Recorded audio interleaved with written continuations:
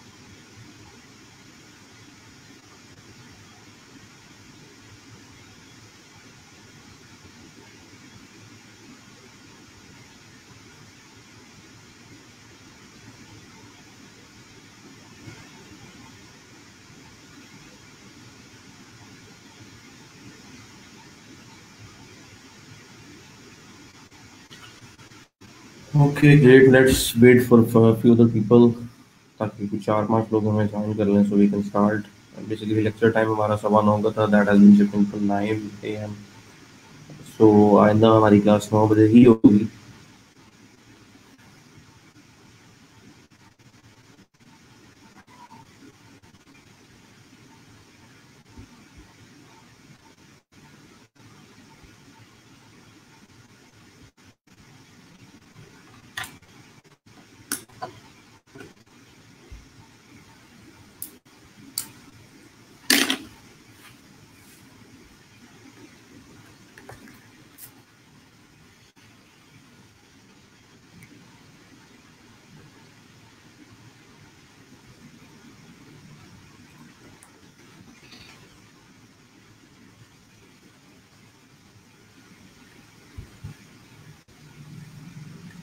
okay so let's have a start आज का हमारा जो बेसिकली टॉपिक है that is around how to deploy your website on server from local host on server so first of all local host का तो आप लोगों को काफ़ी सारा आइडिया है कि वैम्प को हम लोग इंस्टॉल कर लेते हैं, या वैम्प को कर लेते हैं, या मैप को कर लेते हैं and we achieve that particular local hosting ताकि हम अपने सिस्टम को ही as a server as a client दोनों तरह से जो है वो रन कर सकें। जब हम ब्राउज़र से रिक्वेस्ट करते हैं, तब हमारा सिस्टम जो है क्लाइंट जो है, वो रिएक्ट करता है। और जब जो मशीन है, हमारी हमें आंसर करती है थ्रू अपाची तो that at that point it act like a server अब ये वाला जो सिस्टम है हमारा इट्स ओनली इन पोजिशन के जो हमें रिस्पॉन्स दे रहा है। हमें अपनी वेबसाइट को बनाने के बाद इस तरह से इंटरनेट के ऊपर लेके जाना होता है, ताकि बाकी लोग जब उस पर रिक्वेस्ट करें तो उनको रिस्पॉन्स मिले।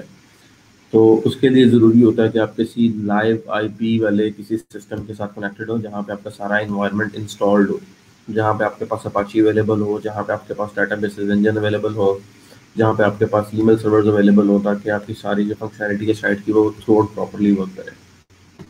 उसके लिए हमारे पास डिफरेंट ऑप्शन है। सो uh, so, जब भी हम किसी सिस्टम को शिफ्ट uh, करते हैं from local host to server तो हमें दो चीज़ों की ज़रूरत होती है। First of all there is domain and second of them is hosting.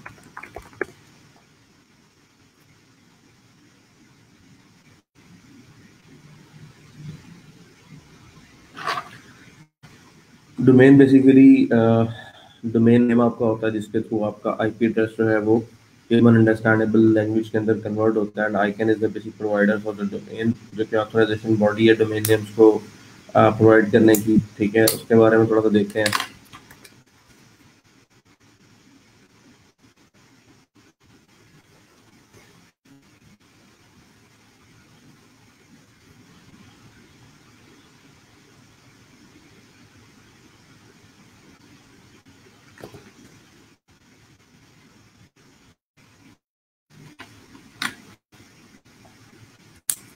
So this is ICANN, the Internet Corporation for Assigned Names and Numbers in an American multi-stakeholder group and non-profit organization responsible for coordinating the maintenance and procedures of several databases related to the namespace and numerical spaces of the Internet.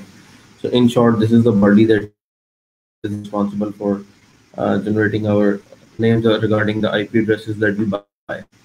तो जब भी आप कोई domain name लेते हैं, उसके against आपको एक आईपी एड्रेस मिलता है और वो आईपी एड्रेस जो है बेसिकली टीएनएस रिस्पॉन्सिबल होता है कि उस आईपी एड्रेस को कन्वर्ट करे किसी भी रीडेबल नेम के अंदर। तो डोमेन नेम्स है आई कैन इसका प्रोवाइडर तो है बट इसके रीसेलर्स होते हैं डिफरेंट और उन रीसेलर्स में हमारे पास काफ़ी सारे रीसेलर हैं, जिसमें सबसे ज़्यादा लोगों को पता है गोडेडी का ठीक है गोडेडी डॉट कॉम से डोमेन बाय कर सकते हैं। फिर मोस्ट कॉमन हमारे पास नेम डॉट कॉम ठीक है, यहाँ से जाके आप डोमेन बाय कर सकते हैं नेम डॉट कॉम से, ठीक है। इसके अलावा आपके पास एक वेबसाइट है नेम सिलो नेम सिलो से जाके आप डोमेन बाय कर सकते हैं, ठीक है।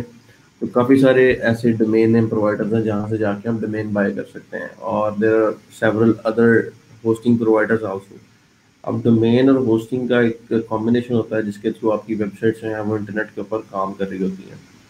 जब भी आप कोई रिक्वेस्ट करते हैं ब्राउज़र के ऊपर, जैसे आपने रिक्वेस्ट की Google dot com Google dot com हमारे पास एक डोमेन नेम है। और ये जो डॉट कॉम का पार्ट है this is called T L D top level domain ठीक है? टी एल डी पहले थी हमारे पास सात से आठ कॉमन टी एल डी जिसके अंदर हमारे पास normal dot info dot O R G dot C O dot com ठीक है? ये छः सात नाम हमारे पास पहले अवेलेबल थे। अभी हमारे पास forty plus T L Ds available है।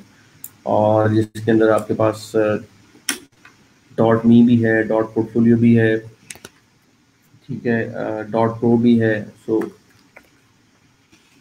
P L D is available these.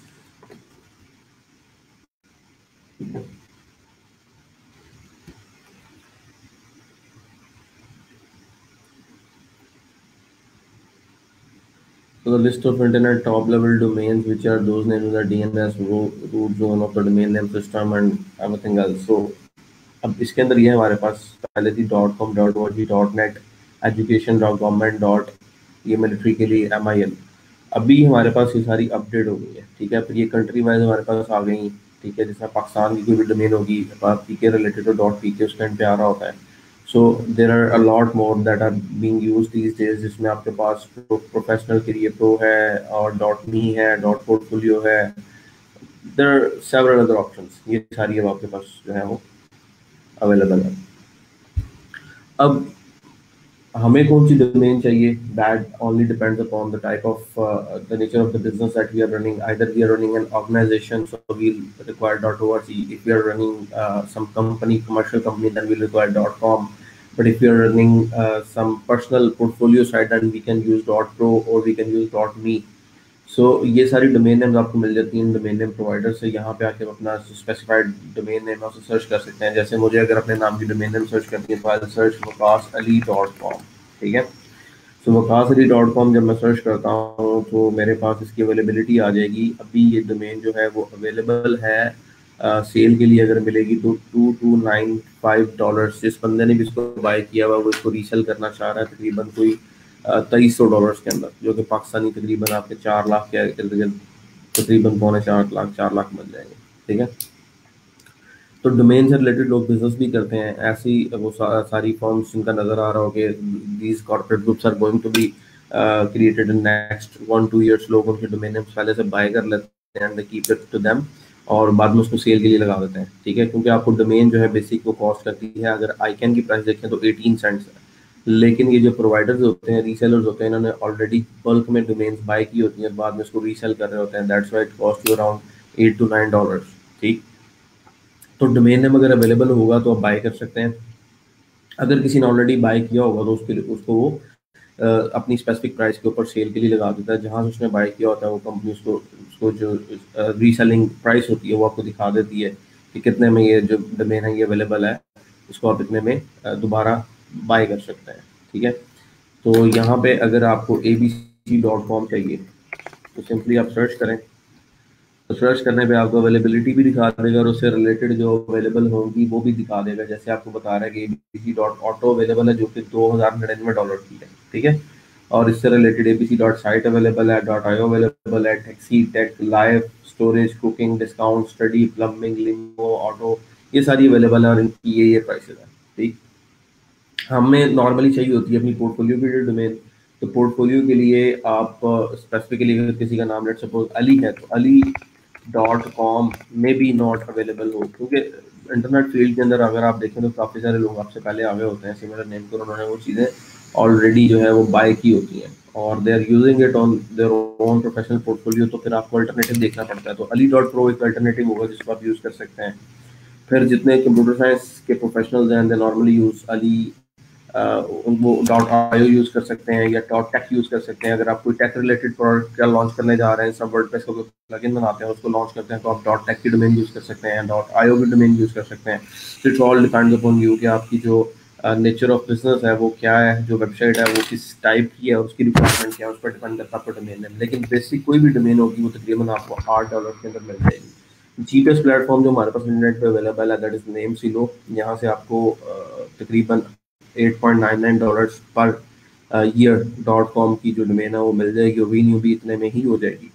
अगर हम एक्सपेरिमेंट uh, के लिए स्टार्ट के लिए करना चाहें तो सबसे बेस्ट ऑप्शन हमारे पास है गो डेडी यहाँ से अगर आप कोई भी डोमेन बाय करेंगे for the first time you can use a 99 cent coupon ठीक है? मुख्तलिफ़ जो डोमेन प्रोवाइडर्स हैं, इन्होंने अपने कूपन भी डिफाइन किए होते हैं। जिस तरह 99 सेंट कूपन गोडेडी का बहुत मशहूर कूपन है, जो कि फ़र्स्ट टाइम के लिए आपको एक डोमेन एक साल के लिए बाय कर देगा, सिर्फ़ नड़िनवे सेंट यानी एक डॉलर के अंदर। आपने एक डोमेन को एक साल के लिए एक डॉलर पर यूज़ किया और उसके बाद जब उसकी रीन्यू होगी तो रीन्यूअल के अंदर वो आपसे तकरीबन चौदह, पंद्रह, सोलह डॉलर चार्ज करेंगे। और उसके दौरान वो, उस रीन्यूअल में वो अपने पिछले साल के पैसे भी पूरे कर लेंगे। तो ऐसे लोग जो अपना बिज़नेस स्टार्ट कर रहे हैं और उनको स्टार्टिंग डोमेन चाहिए तो वो गोडेडी से बाय कर सकते हैं with 99 cents for the first year ठीक है, फिर काफ़ी सारी कूपन्स की साइट्स हैं जहाँ पे जो है हर डोमेन नेम प्रोवाइडर के कूपन अवेलेबल है। और ये कूपन्स डोमेन नेम प्रोवाइडर्स ने खुद जो है वो क्रिएट किए होते हैं अपने सिस्टम में और फिर इसकी मार्केटिंग करते हैं ताकि लोग इन कूपन्स को यूज़ करें और उनकी सेल जो है उसमें इजाफा हो बेसिकली तो ये काफ़ी सारे कूपन आपको दिए हुए हैं। जब आप बाय करेंगे कहीं से भी डोमेन आप कूपन को ट्राई कर सकते हैं। जैसे ये ग्रॉफिन dot com domain for the first year इस कूपन को मैं कॉपी कर रहा हूँ। क्योंकि यहीं से वो मुझे रीडायरेक्ट करके गो रेडी के पेज के ऊपर ले आया ठीक है? और गो रेडी के ऊपर thirty percent off your offer limitations तो इट डिपेंड्स कि अभी जो ऑफ़र है वो वैलिड है या नहीं, अगर तो वैलिड होगी तो मुझे मेरी बास्केट अगर राइट नाउ जैसे मैं गोरेडी के ऊपर आता हूँ और यहाँ पे आके मैं कोई भी ईमेल जो है सर्च करके उसको बास्केट में लेके जाता हूँ चेकआउट कर जैसे जैसे एग्ज़ाम्पल डोमेन हम करते हैं।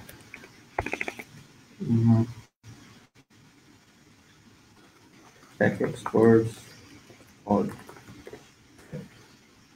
डॉट कॉम देखते हैं उसमें और पैकेज टेकन डॉट कॉम देखते हैं dot com is also taken broker fees भी उन्होंने डाली हुई है sixty nine point nine nine dollar अच्छा जी।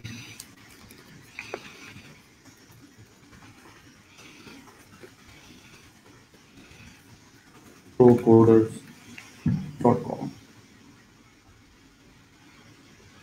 अच्छा जी ये अवेलेबल है वन डॉलर पर मंथ के ऊपर, इसको ऐड टू कार्ड करते हैं, ठीक है?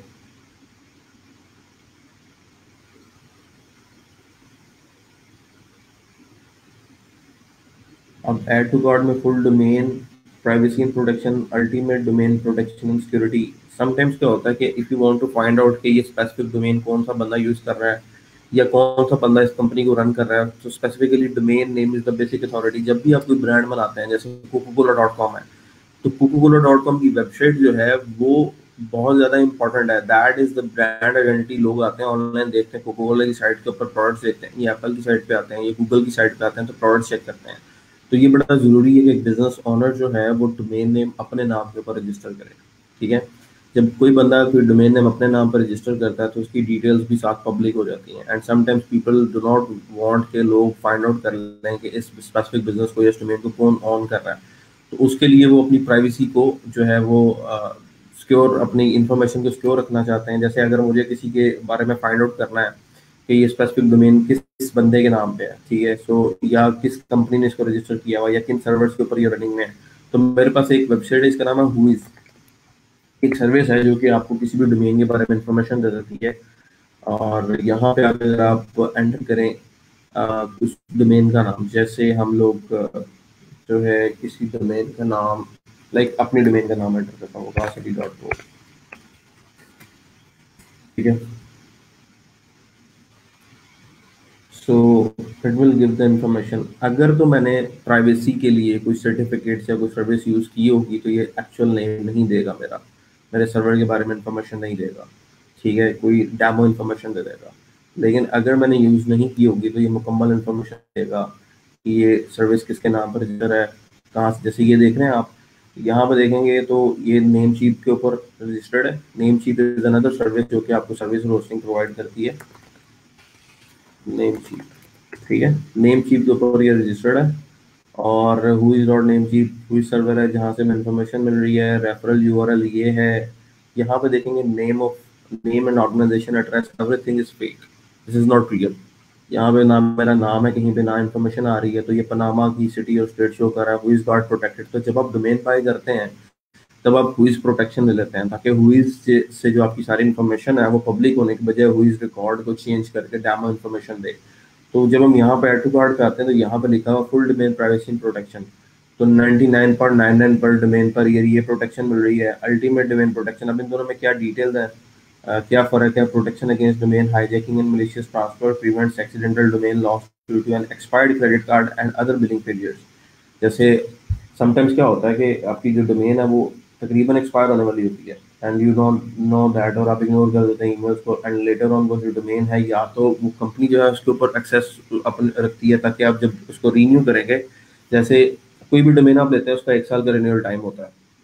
एक साल के बाद आपको एक महीना दिया जाता है, जिसको आप कहते हैं ग्रेस पीरियड ठीक है? उस ग्रेस पीरियड में अगर आप अपनी डोमेन को रीन्यू करवा लें नॉर्मल रेट के ऊपर तो अगर एट डॉलर रेट है सालाना तो आप नॉर्मल रेट पे आठ डॉलर पे या नौ डॉलर पे उसको रिन्यू करवा लेते हैं। लेकिन अगर वो ग्रेस पीरियड भी गुजर जाता है तो वो कंपनी क्या करती है, जिसके पास वो डोमेन होती है, उसको दो माह के लिए रिज़र्व कर लेती है। उस रिज़र्व टाइम में अगर आप उस डोमेन को दोबारा बाय करने लगेंगे तो you have to pay like ten times तो आपको एटी डॉलर में वो डोमेन दोबारा रिन्यू करवानी पड़ेगी।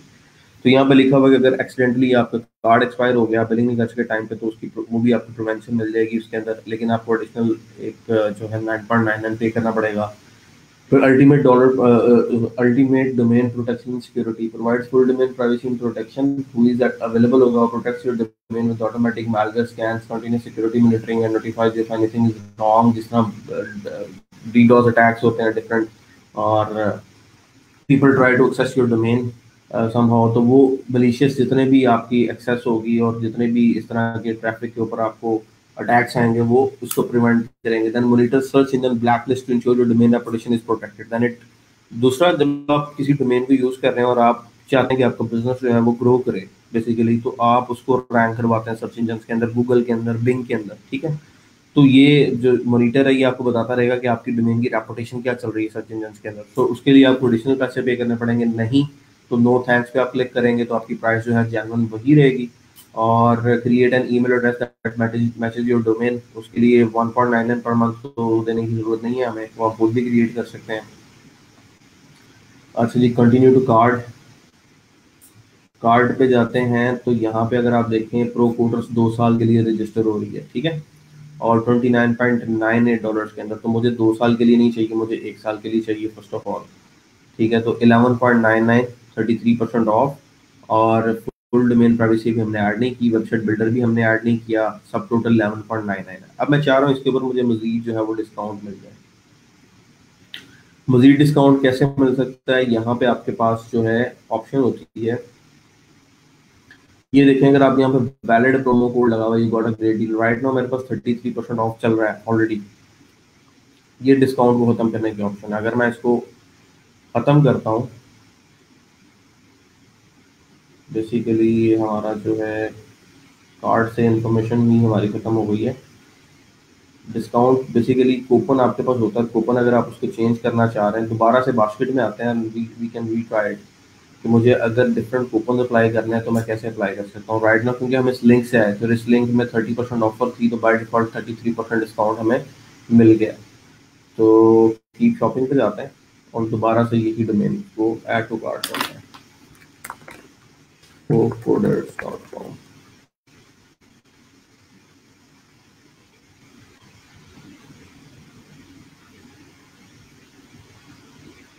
Procoders dot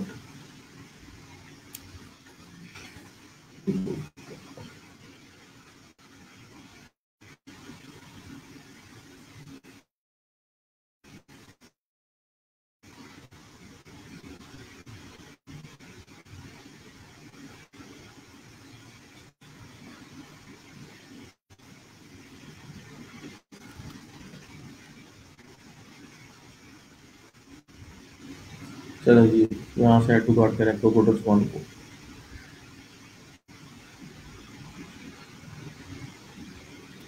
continue to card sorry इसको हमें नो थैंक्स करना था। चलो, आगे से भी हम डिलीट कर सकते हैं इस चीज़ को। हमें ये जो फुल डिमेन प्रोटेक्शन है, ये नहीं चाहिए। ठीक है? What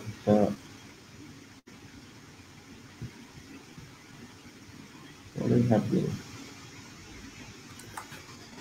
procoders1.com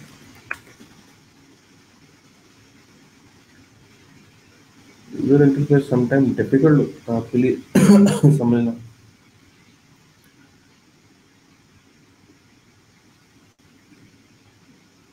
no thanks continue to card अच्छा जी ये भी लिंक दिया हुआ है बास्केट का ये भी लिंक दिया हुआ है। आप किसी में भी क्लिक करेंगे तो आपको कार्ड को एम्प्टी कर देगा। हालाँकि यहाँ पे होना चाहिए एम्प्टी कार्ड में भी। This is something I am not understanding और did not make it clear अच्छा जी थर्टी थ्री परसेंट ऑफ़ लगा हुआ डिस्काउंट ऐड करने की ऑप्शन में भी पेमेंट के पेज पे आए चेकआउट करते हैं।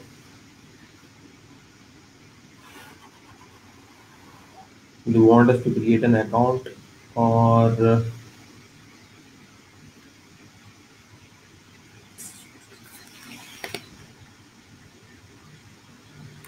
test one.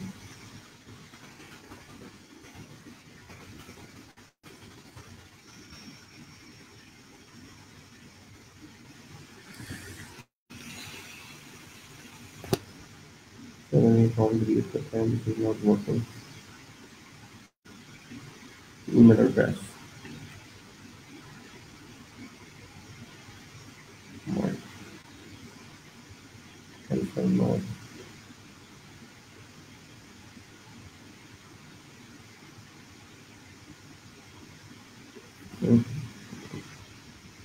Email address कौन सा दें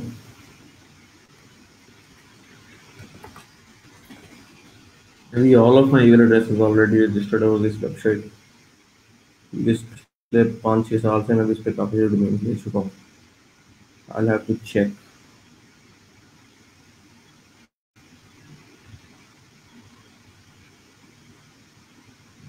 अच्छा जी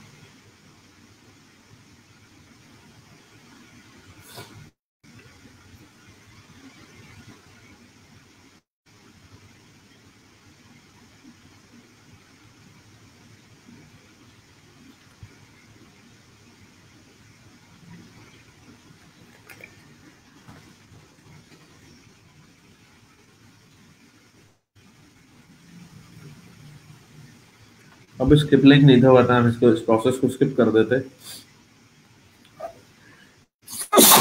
जो कार्ड एक्सपीरियंस है ये काफ़ी चेंज हुआ है। फ़र्स्ट ऑफ़ ऑल पहले आप करते थे क्या थे कि आपको ये इन्फॉर्मेशन बिल्कुल एंड में देनी पड़ती थी। अभी मैं बिल्कुल इन्फॉर्मेशन ड्यूरिंग द प्रोसेस देनी पड़ रही है पहले अकाउंट क्रिएट करें then we can complete the process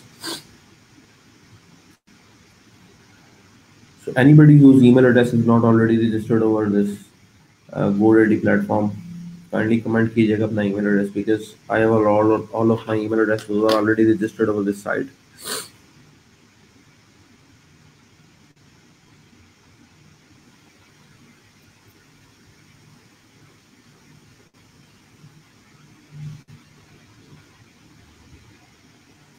I have another email address that can use here, like 7mart.pk.data at gmail.com ठीक है?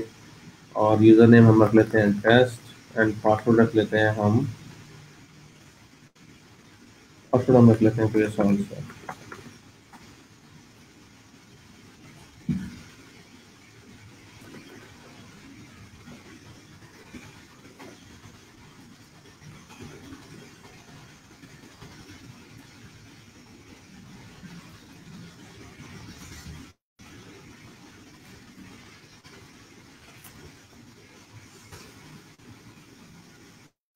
Two five hundred at least one letter contain a space, be unique.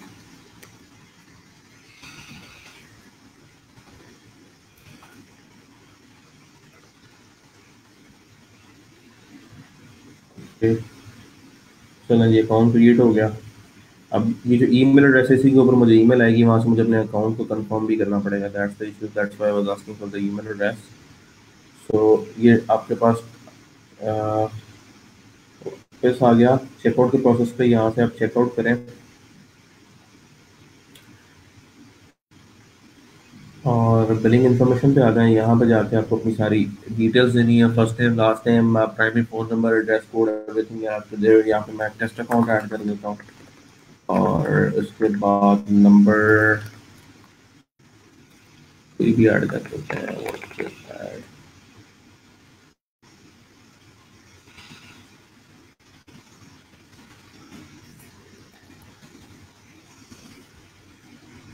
Postal code आप यहाँ से state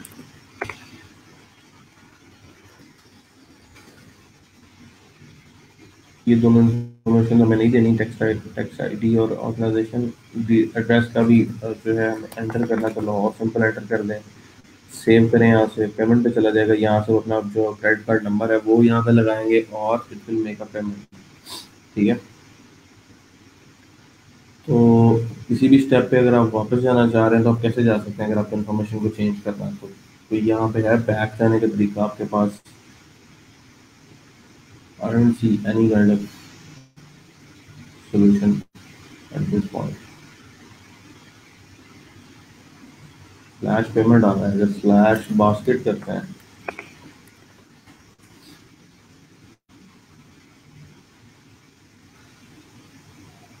no okay यहीं से back करते हैं। Back करते हैं। और यहाँ पे ये थर्टी थ्री परसेंट ऑफ़ आ रहा है। मैं बेसिकली चाह रहा था कि आप यहाँ पे कूपन के ऑप्शन देख लेते, ताकि आपको आइडिया हो जाता कि हाउ दिस वर्क्स यहाँ पे अगर आपके पास ये ऑप्शन नहीं आ रही होगी तो यहाँ पे आएगा ऐड डिस्काउंट कोड या कूपन वहाँ पे जाके आप कोई भी कूपन ऐड कर सकते हैं, और कूपन आपको काफ़ी सारी साइट से मिल जाएँगे। अभी हमारा थर्टी थ्री परसेंट वाला जो चल रहा है। नाइन्टी नाइन सेंट वाला भी आपका अगर कूपन अवेलेबल होगा बिकॉज़ कुछ महीनों में स्पेशल ऑफर्स होती हैं, वहाँ पर जाके आपके पास कूपन जो है वो अवेलेबल होते हैं।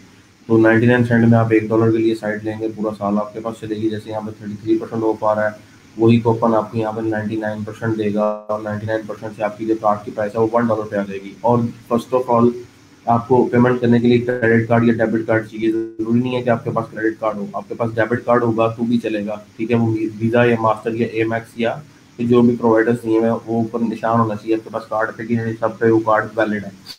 इनमें से किसी एक को भी वैलिड होगा तो चल जाएगा। ठीक है सिक्योरिटी कार्ड ये कार्ड का नंबर आपके पास डेबिट कार्ड का नंबर जो भी आ रहा था फ्रंट पे नंबर होता है, वो देंगे आप एक्सपायरेशन देंगे, उसका सिक्योरिटी कोड कार्ड की बैक साइड पे लिखा होता है, जो कि थ्री डिजिट का होता है। वो सिक्योरिटी कोड बहुत इंपॉर्टेंट होता है, जो आपने किसी को भी नहीं देना। कभी आपको कांटेक्ट करना पड़ जाए डोमेन के जो सपोर्ट है डोमेन नेम जो आपका कोई भी कंपनी उसकी जो सपोर्ट है कांटेक्ट करना पड़ जाए, या होस्टिंग वालों से करना पड़ जाए तो कभी भी आपने सिक्योरिटी कोड उनके साथ शेयर नहीं करना कार्ड नंबर शेयर कर सकते हैं, ज़्यादा से ज़्यादा एक्सपायरी शेयर कर सकते हैं सिक्योरिटी कोड कभी शेयर मत कीजिएगा दैट इज़ रिस्की यहाँ से पेमेंट करेंगे, आपको ईमेल आ जाएगी ईमेल के ऊपर आपको आपका डोमेन अकाउंट मिल जाएगा, वहाँ पे आप लॉगिन करेंगे तो you can see your domain और let me check if I have some domain जहाँ पे हम लॉगिन अगर कर सकें तो मैं आपको इसका इंटरनल डैशबोर्ड भी दिखा देता हूँ।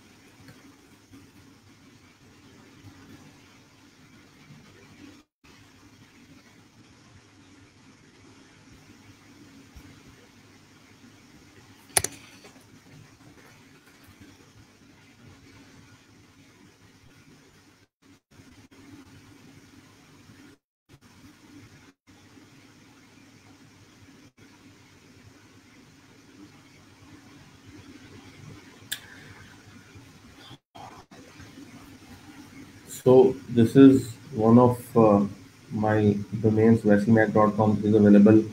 Uh, इसका जो डैशबोर्ड है आप कोई भी डोमेन बाय करेंगे अगर आप एक ही डैशबोर्ड से मल्टीपल डोमेन बाय करते हैं तो आपको मल्टीपल जो है वो अवेलेबल मतलब डोमेन शो करवा देगा। और ये सारी जो एप्लीकेशन है साइट की उसमें से डोमेन पे जैसे आपने क्लिक किया तो आपको डोमेन सर्च के ऊपर लेके जा रहा है। लेकिन अगर आपने अपनी अपनी प्रोडक्ट्स के ऊपर देखना है तो आप यहाँ पे अकाउंट पे क्लिक करेंगे माइनस डोमेन्स पे जाएँगे तो जो डोमेन्स आपने ऑलरेडी बाय की हुई हैं, वो आपको दिखा देगा।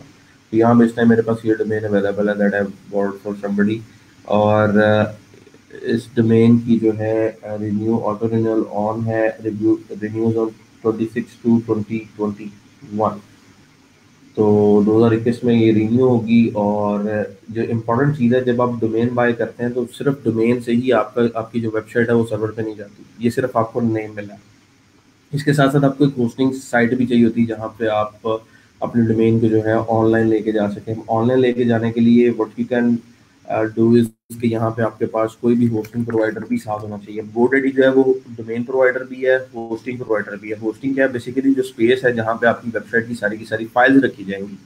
डोमेन नेम प्रोवाइडर सिर्फ़ आपको नेम प्रोवाइड करते हैं, जिसको आप होस्टिंग के साथ कनेक्ट कर देते हैं, ठीक है? तो होस्टिंग आप समझ लें एक ऐसा सर्वर है जिसमें आपको स्पेस मिलती है और सारे रिसोर्सेज मिलते हैं, जहाँ पे आप अपनी फाइल्स रखेंगे, जिस तरह आप लोकल होस्टेड वर्डप्रेस का फोल्डर रखते हैं, पीछे डाटाबेस बनाते हैं, इसी तरह से सर्वर के ऊपर आप अपना वर्डप्रेस का फोल्डर रखेंगे बैकएंड में डाटाबेस बनाएँगे, दोनों की कनेक्टिविटी करेंगे और डोमेन नेम पे जो रिक्वेस्ट जाएगी बाय डिफ़ॉल्ट वो रीडायरेक्ट हो जाएगी आपके होस्टिंग सिस्टम के ऊपर।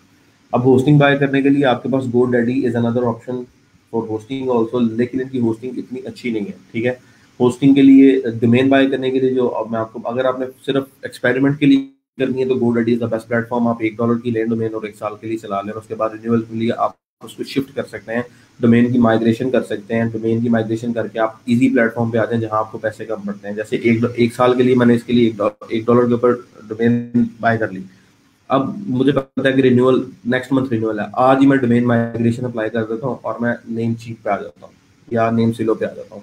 नेम सिलो पे आता हूँ तो नेम सिलो मेरी उसी डॉट कॉम के डोमेन को एक साल के लिए नाइन डॉलर में रीन्यू कर देगी, जबकि गोडेडी की असल प्राइस रिन्यूअल करने की सोलह डॉलर ठीक है? सो मेरे तकरीबन आठ डॉलर इससे बच जाते हैं।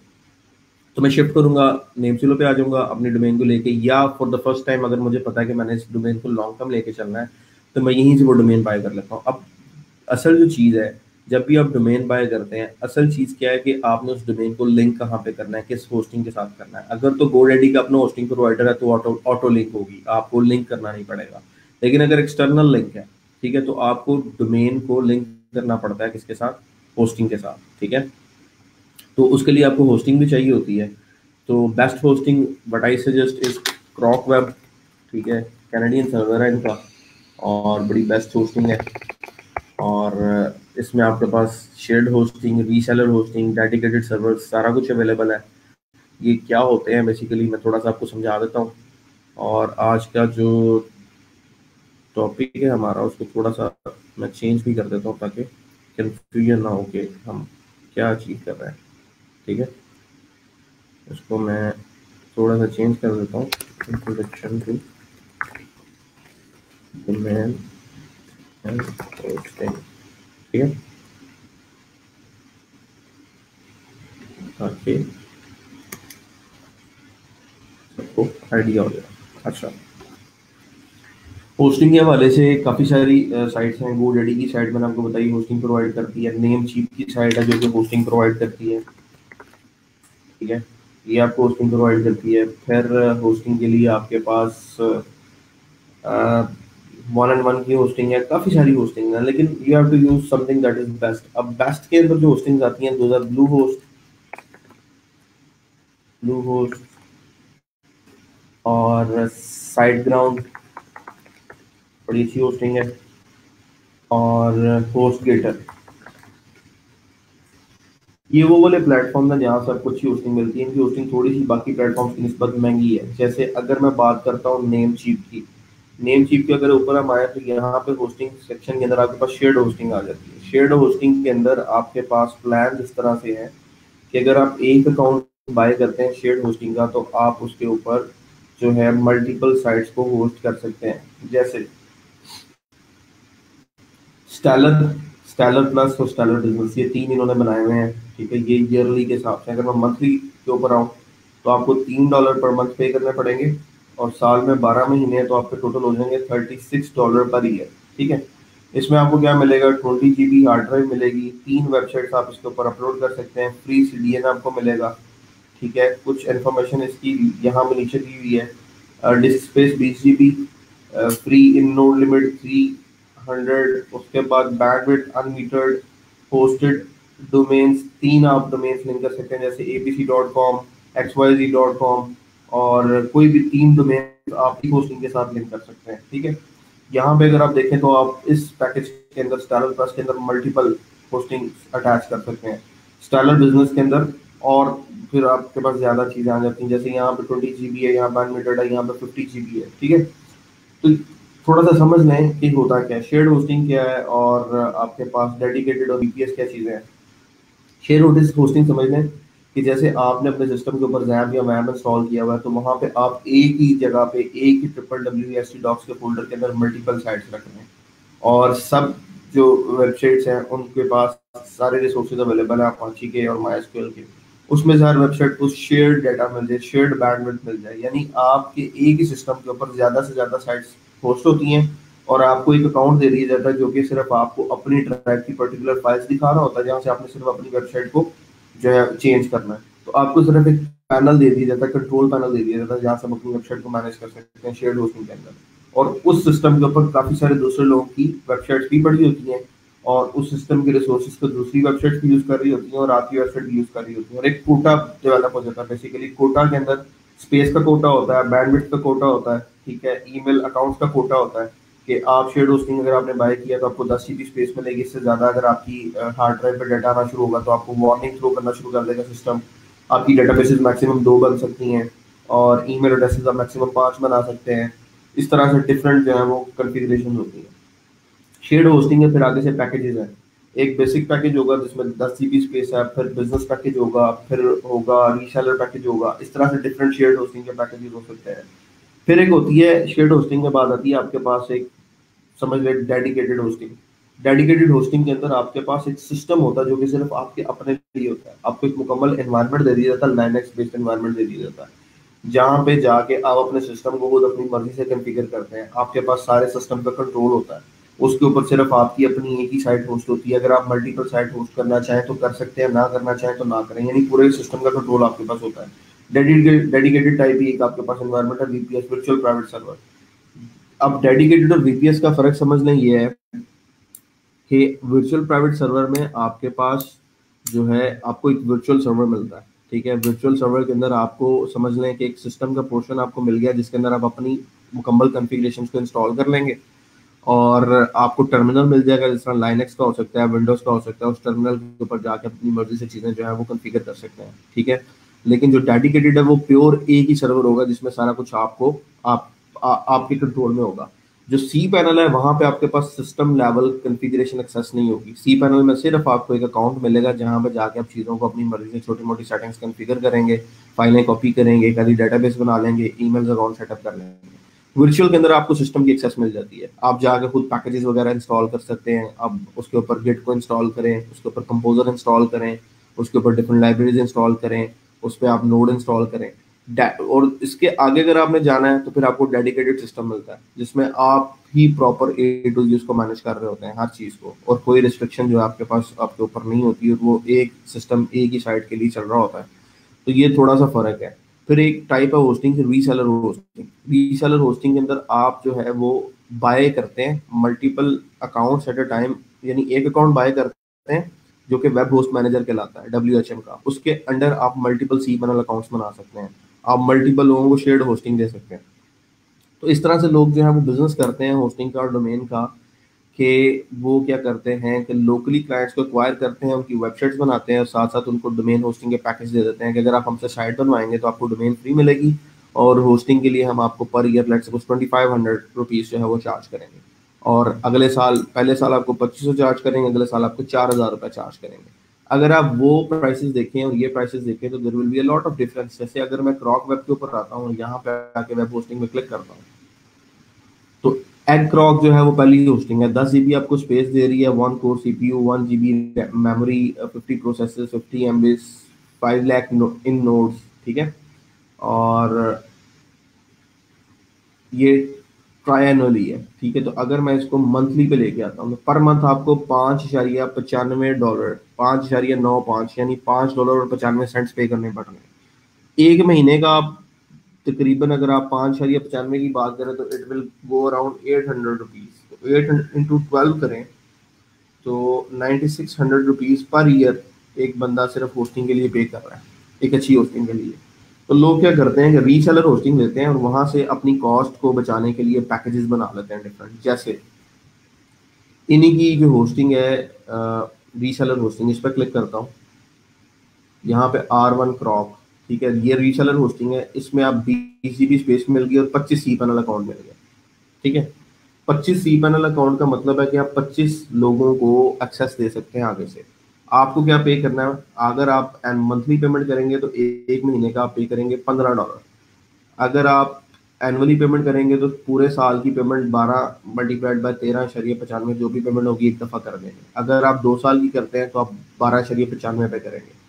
प्राइनली करते हैं तो आप ग्यारह शरीय नौ पाँच पर ईयर के हिसाब से बारह से मल्टीप्लाई करके एक दफ़ा पेमेंट कर देंगे और उसमें आप पच्चीस अकाउंट आपके हो जाएँगे और आप तीन साल के लिए लोगों को पच्चीस अकाउंट देंगे और आप अपनी कॉस्ट को डिवाइड कर लेंगे और लोगों से उस हिसाब से पैसे ले लेंगे। तो डिफरेंट लोग जो है, वो बिज़नेस करते हैं डोमेन होस्टिंग का, जिनके पास लोकल क्लाइंट्स होते हैं तो वो करते क्या है कि वेबसाइट बना देते हैं डोमेन कहते हैं आपको फ्री में मिलेगी और दूसरे साल जब वो उस होस्टिंग के पैसे चार्ज करते हैं तो डोमेन के पैसे भी साथ निकाल लेते हैं। क्योंकि डॉट कॉम की डोमेन आपको मैंने दिखाया कि नौ डॉलर की मिलती है तो नौ डॉलर का मतलब है तकरीबन बारह, तेरह सौ रुपया डोमेन का हो गया। और अगर आप किसी को चार हज़ार की होस्टिंग दे रहे हैं तो पाँच हज़ार पर ईयर जो आप उसकी रिन्यूअल है, वो चार्ज करते रहते हैं क्लाइंट को। और दूसरा उन्होंने क्या काम किया होता है डोमेन नेम अपने नेम पे ही बाय किया होता है। तो क्लाइंट जो है वो मजबूरन उनके साथ अटैच हुआ होता है, जो कि बहुत गंदा फॉर्मेट है बिज़नेस करने का, कि आप किसी के डोमेन नेम अपने नाम के साथ अटैच कर लें और वो बंदा उस डोमेन पे दो तीन साल काम कर रहा हो ट्रैफ़िक जनरेट कर ले बिज़नेस बना ले और बाद में आप उसको पैसों दो चार पाँच हज़ार के लिए आप उसको ब्लैकमेल करना शुरू कर देते हैं, जो कि पाकिस्तानी कल्चर बहुत ज़्यादा है। मैं स्ट्रेट फॉरवर्ड दूँगा I have been seeing those cases जहाँ मेरे कुछ दोस्तों ने लोकली होस्टिंग ली होती और वो इन इश्यूज़ में जो है वो इन्वॉल्व हो जाते थे। तो फिर मैं उन्हें सजेस्ट करता था कि यार आप ऑनलाइन लिया करो या मेरे पास एक रीसेलर सर्वर है, वहाँ से आप ले लो। आई नॉट चार्ज एनीथिंग आपको अगर अपने क्लाइंट को डेमो देना है, कुछ करना है तो यार go for the premium version आप फ्री के लिए मतलब आपकी चीज़ों की वैल्यू नहीं रहती। तो वैल्यू के हिसाब से अगर देखें तो क्रॉक वेब बहुत अच्छा प्लेटफॉर्म है। मैं इसको पिछले तीन चार साल से यूज़ करता रहा हूँ। नेम शीट को यूज़ किया है गोडेडी को यूज़ किया है। फिर एक पाकिस्तानी किसी बंदे की आई थिंक सो किसी पाकिस्तानी की साइड है जिसने बैकएंड में कोई जर्मन या यूएस सर्वर लगाया हुआ है। ए आर सी होस्ट के नाम से इसको भी यूज़ किया है और कुछ अर्सा ठीक चला और इसने भी बाद में बहुत तंग किया है। तो सब में से मुझे जो बेस्ट लगा है that is crock web crock web के बाद अगर आपको थोड़ा सा ऊपर जाना है तो ब्लू होस्ट ठीक है, और साइड ग्राउंड और होस्टेटर अब ये वाली जो तीन साइट्स हैं, इनके जिस तरह ब्लैक फ्राइडेज का आपको पता होगा, साल के अंदर आपके पास एक, वो ब्लैक फ्राइडेज दिसंबर के नियर आपके पास आते हैं, जहाँ पे आप मल्टीपल प्रोडक्ट्स जो हैं वो आपको मिल जाती हैं सिक्सटी सेवेंटी परसेंट ऑफ़ पे। तो साइड ग्राउंड की होस्टिंग अगर आपको, जैसे यहाँ पर take up to seventy percent off your top hosting plan अगर आप एक साल के लिए, दो साल के लिए होस्टिंग ले लेते हैं, क्योंकि इस पर मेरा ख्याल एनुअल पेमेंट्स होती हैं अगर हम इसकी होस्टिंग पे जाएँ शेयर होस्टिंग पे क्लिक करें उनकी शायद एनुअल पेमेंट्स ही होती हैं पर मंथ नहीं होती जहाँ तक मुझे आइडिया है। तो अगर आप सेवेंटी परसेंट ऑफ़ पे बाय करें और दो शरिया आठ डॉलर आपको पड़ रहे हैं पर मंथ तो साल के आपको तकरीबन पड़ जाएँगे अराउंड ट्वेंटी फोर डॉलर्स और अगर आप मल्टीपल डोमेन्स के लिए लेना चाह रहे हैं, आपकी ज़्यादा साइट्स हैं और आप एक ही होस्टिंग सर्वर पे लगाना चाह रहे हैं तो this is the best chance three dollar per month three into twelve is like thirty six dollar per month और इनकी जो नॉर्मल आप तो चार्ज करते हैं वन ईयर है या थ्री ईयर है या टू ईयर है ईयरली के हिसाब से है, ठीक है? तो साथ आपको एक डोमेन देंगे फ्री वाली, आप एक डोमेन इनसे बाय कर लें। और यहाँ पे देखेंगे इनका बिलिंग साइकिल आ रहा है, ठीक है? थर्टी सिक्स मंथ्स के लिए two point nine eight dollars per month अगर मैं इसको कम करके ट्वेंटी फोर मंथ्स पे आता हूँ तो मुझे पैसे ज़्यादा चार्ज होंगे three point two eight charge होंगे। और अगर मैं इसको कम करके बारह पे आता हूँ तो मुझे पड़ेगा चार डॉलर पर मंथ। और चार ज़रा बारह is like forty eight dollar per year मुझे पड़ता है। तो अगर मैं दो साल करवा लेता हूँ तो मुझे पड़ता है तकरीबन तीन इशारिया पाँच ज़रा बारह अराउंड छत्तीस और तकरीबन उतने फिफ्टी पर ईयर के हिसाब से मुझे ये जो है ये चार्ज करेगा। और बेस्ट प्लेटफॉर्म अगर आपको रीसेलिंग या मल्टीपल सिस्टम्स मल्टीपल साइट चलानी है अपने क्लाइंट्स की भी और अपनी भी और ब्लॉगिंग के लिए भी अगर आप प्लेटफॉर्म को यूज़ करना चाह रहे हैं तो होस्ट गेटर जो है बहुत अच्छी ऑप्शन है इसको यूज़ कर सकते हैं। देन साइट ग्राउंड की होस्टिंग बहुत अच्छी है। प्रोफेशनल वेबसाइट्स के लिए कंपनीज़ के लिए अगर आपको स्पीडी होस्टिंग चाहिए और जहाँ पे आपकी कैशेज अच्छी मेंटेन हो ऑन टाइम उसके लिए ये प्लेटफॉर्म बहुत अच्छा है। I have use this tool इसके अंदर जो सी पैनल का टूल है या एडिटर है उनका, वो बड़ा अच्छा है। शायद उन्होंने अपनी को कस्टम वो प्रोडक्ट बनाई हुई है जिसमें आपको जो फ़ाइल एक्सप्लोरर है, बड़ा अच्छा मिला हुआ है। जब आप यहाँ से होस्टिंग को बाय करते हैं तो फिर आपको डिटेल्स मिल जाती हैं। आपके अकाउंट पर डिटेल्स आ जाती हैं कि आपके पास ये होस्टिंग अकाउंट है और उस होस्टिंग अकाउंट की डिटेल्स आप उसमें लॉग इन हो जाते हैं। जैसे मेरे पास अगर होस्टिंग है साइड ग्राउंड की तो मुझे एक साइड ग्राउंड वालों ने एक्सेस दी है। उस एक्सेस के थ्रू मैं लॉग इन होके उस मेरे पास अगर प्लान जो मेरे पास चल रहा है दैट इज़ बेबी प्लान उस बेबी प्लान के अंदर लॉग इन होकर मैं मल्टीपल साइट्स ऐड कर सकता हूँ। ठीक है? तो यहाँ पे डिपेंड करता है कि साइट्स कितनी यहाँ पे तीन वेबसाइट्स हैं, यहाँ पे अनलिमिटेड वेबसाइट्स हैं, यहाँ पे अनलिमिटेड वेबसाइट्स हैं। जो आप प्लान लेंगे, उसके मुताबिक आपको वो साइट्स मिलेगी। अब ये जो अनलिमिटेड वेबसाइट्स या थ्री वेबसाइट्स ये ये, इसकी एक फॉर्मेट क्या होती है? जब आपको किसी भी एक होस्टिंग के लिए अकाउंट मिलता है, आप एक अकाउंट पर मल्टीपल वेबसाइट्स लगाना चाहते हैं, उसके लिए आप मल्टीपल डोमेन ऐड करते हैं। अब डोमेन जो आप ऐड करते हैं, वो अगेन दो तरह की होती हैं। एक होती है सब डोमेन और एक होती है एड ऑन डोमेन ठीक है? सब डोमेन क्या होती है? मेन डोमेन के आगे ये आप कोई दूसरा लिंक लगा देते हैं। जैसे सब डोमेन की example codex dot WordPress dot O R G main domain कौन सी है? WordPress dot O R G उसके आगे आप एक सब डोमेन बना के एक नया फोल्डर बना देते हैं। वहाँ पे आप एक अलग वेबसाइट रख देते हैं। एक डोमेन के ऊपर अलग वेबसाइट रख देते हैं। दैट इज़ सब डोमेन अगर आप एक सिस्टम के ऊपर तीन वेबसाइट होस्ट करते हैं, और तीनों के नाम डिफरेंट है। Vertus dot O R G vertus dot com vertus dot A B C में भी। तो वो तीनों फिर एड ऑन डोमेन होंगी। अगर आप एक सी पैनल अकाउंट पर मल्टीपल साइट्स का डाटा रख रहे हैं तो फिर आप एड ऑन डोमेन बनाते हैं। उसके लिए डिपेंड करता है कि जिस कंपनी से आप बाय कर रहे हैं अकाउंट क्या वो एड ऑन डोमेन या मल्टीपल वेबसाइट की सपोर्ट दे रही है उस पैकेज में या नहीं। अगर तो दे रही होगी तो आप एड ऑन डोमेन ऐड करेंगे, और वो वर्क करेगी अदरवाइज़ नहीं करेगी। तो इंटरनल डैशबोर्ड में थोड़ा सा आपको डेमो दे देता हूँ।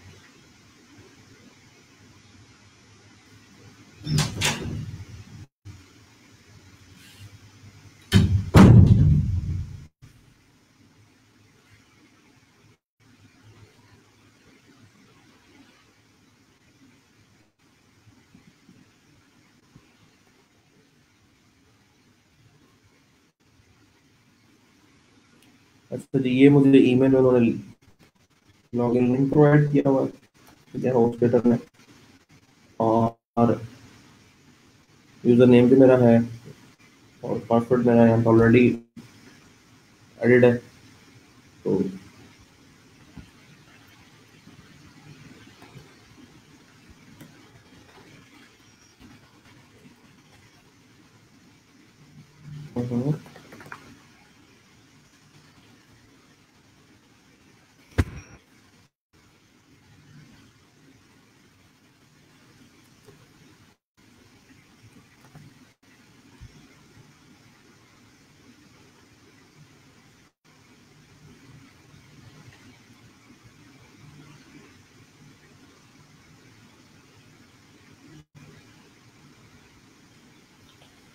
ये जी इंटरनल व्यू है, जो कि हर एक, जो आपका सिस्टम है, हर एक होस्टिंग प्रोवाइडर का डिफरेंट हो सकता है, ठीक है? हर एक डैशबोर्ड डिफरेंट हो सकता है, लेकिन ये जो टूल्स हैं these are like cPanel tools और अगर मैं, मेरी जो सबसे ज़्यादा इंपॉर्टेंट जो चीज़ है यहाँ पे यूज़ होने वाली दैट इज़ फ़ाइल मैनेजर ये ये tool P H P my admin MySQL databases ये दो तीन टूल्स मेरे बड़े इंपॉर्टेंट हैं, जो कि मैं यूज़ करता हूँ यहाँ पर जहाँ से मैं अपनी साइट को, जो है आप समझ लें कि वर्केबल बनाता हूँ। ठीक है? फ़ाइल मैनेजर में मैं जाता हूँ तो जिस भी वेबसाइट के लिए मैंने इस अकाउंट को बाय किया होगा, उसका डाटा मेरे पास लाई करेगा फ़ाइल मैनेजर के अंदर पब्लिक एस के फोल्डर के अंदर। Public S T is like S T docs folder जिसके अंदर आप अपनी वेबसाइट का डाटा रखते हैं। ठीक है?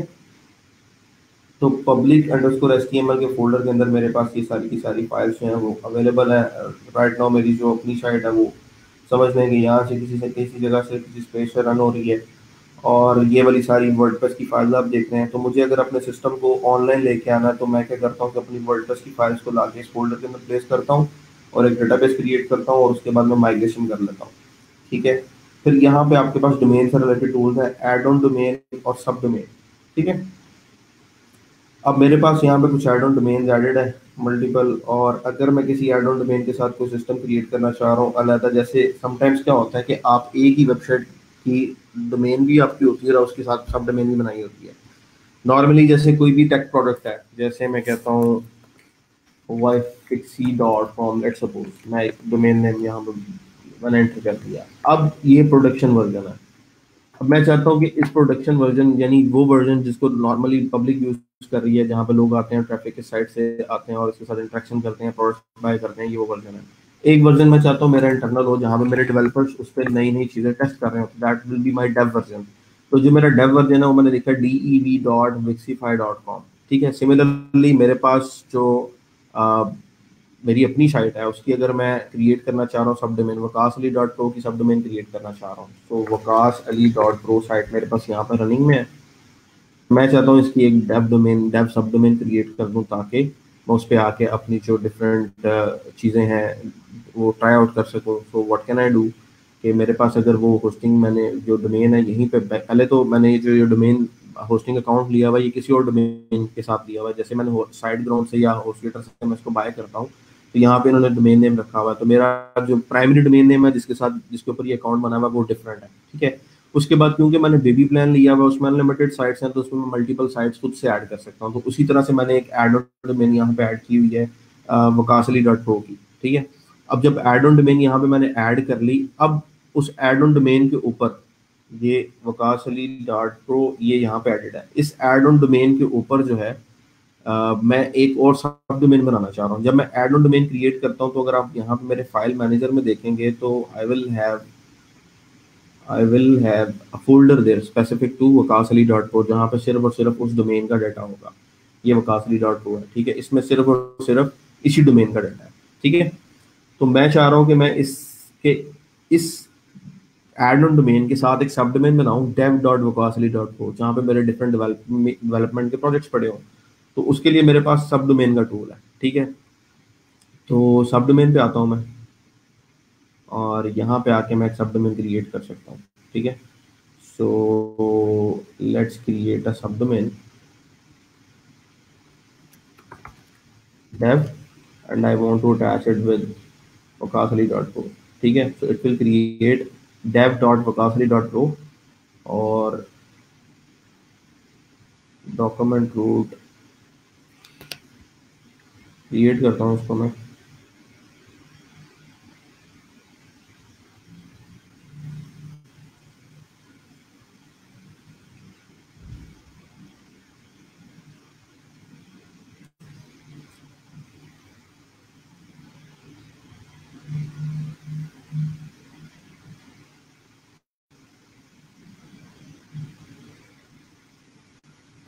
तो ये सब डोमेन मेरी क्रिएट हो गई। अब मैं अपने फ़ाइल मैनेजर में आता हूँ। मेरे फ़ाइल मैनेजर के अंदर at some point I can see dev dot Vikas dot co कहाँ पर लिस्ट करी होगी?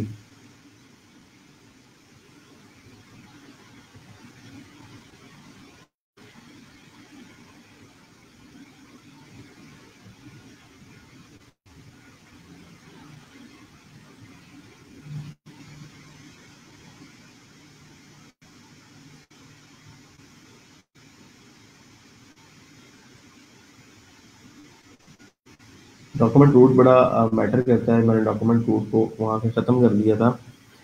तो विल हैव टू चेक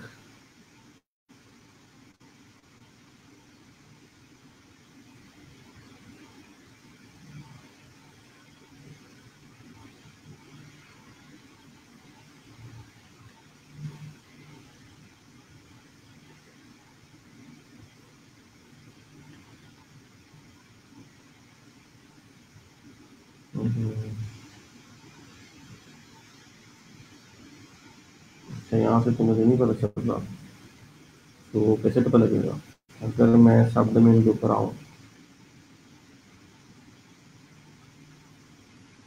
और यहाँ से डेव डॉट विकास ये देखें, इसका फोल्डर बना डेव के नाम से। तो इसका मतलब जो डेव का फोल्डर बाहर पड़ा है that represents dev dot Vikas dot co तो वापस आता हूँ। तो ये फोल्डर है। इसका मतलब है यहाँ पे मैं जो भी वेबसाइट रखूँगा वो रिस्पॉन्ड करेगी dev dot Waqas Ali dot pro के ऊपर। So I can create a P H P file है इसका नाम रखता हूँ index dot P H P और इसको मैं एडिट करता हूँ।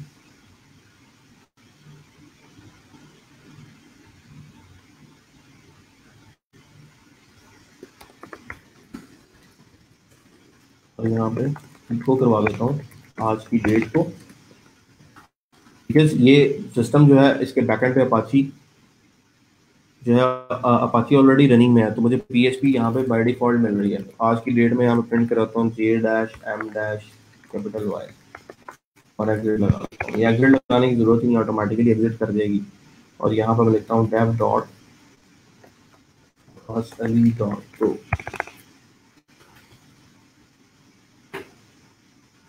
ये आपके पास डेट आ गई आज की। सो इसका मतलब ये है कि मैं अपनी मेन डोमेन के साथ अगर मल्टीपल और कोई वेबसाइट रन करना चाह रहा हूँ तो मैं उसे रन करता हूँ। That's why I suggest all the students के जब वो ऑनलाइन आए, अपनी फ्रीलांस प्रोफ़ाइल बनाए तो एटलीस्ट उनकी पोर्टफोलियो की एक साइट होनी चाहिए।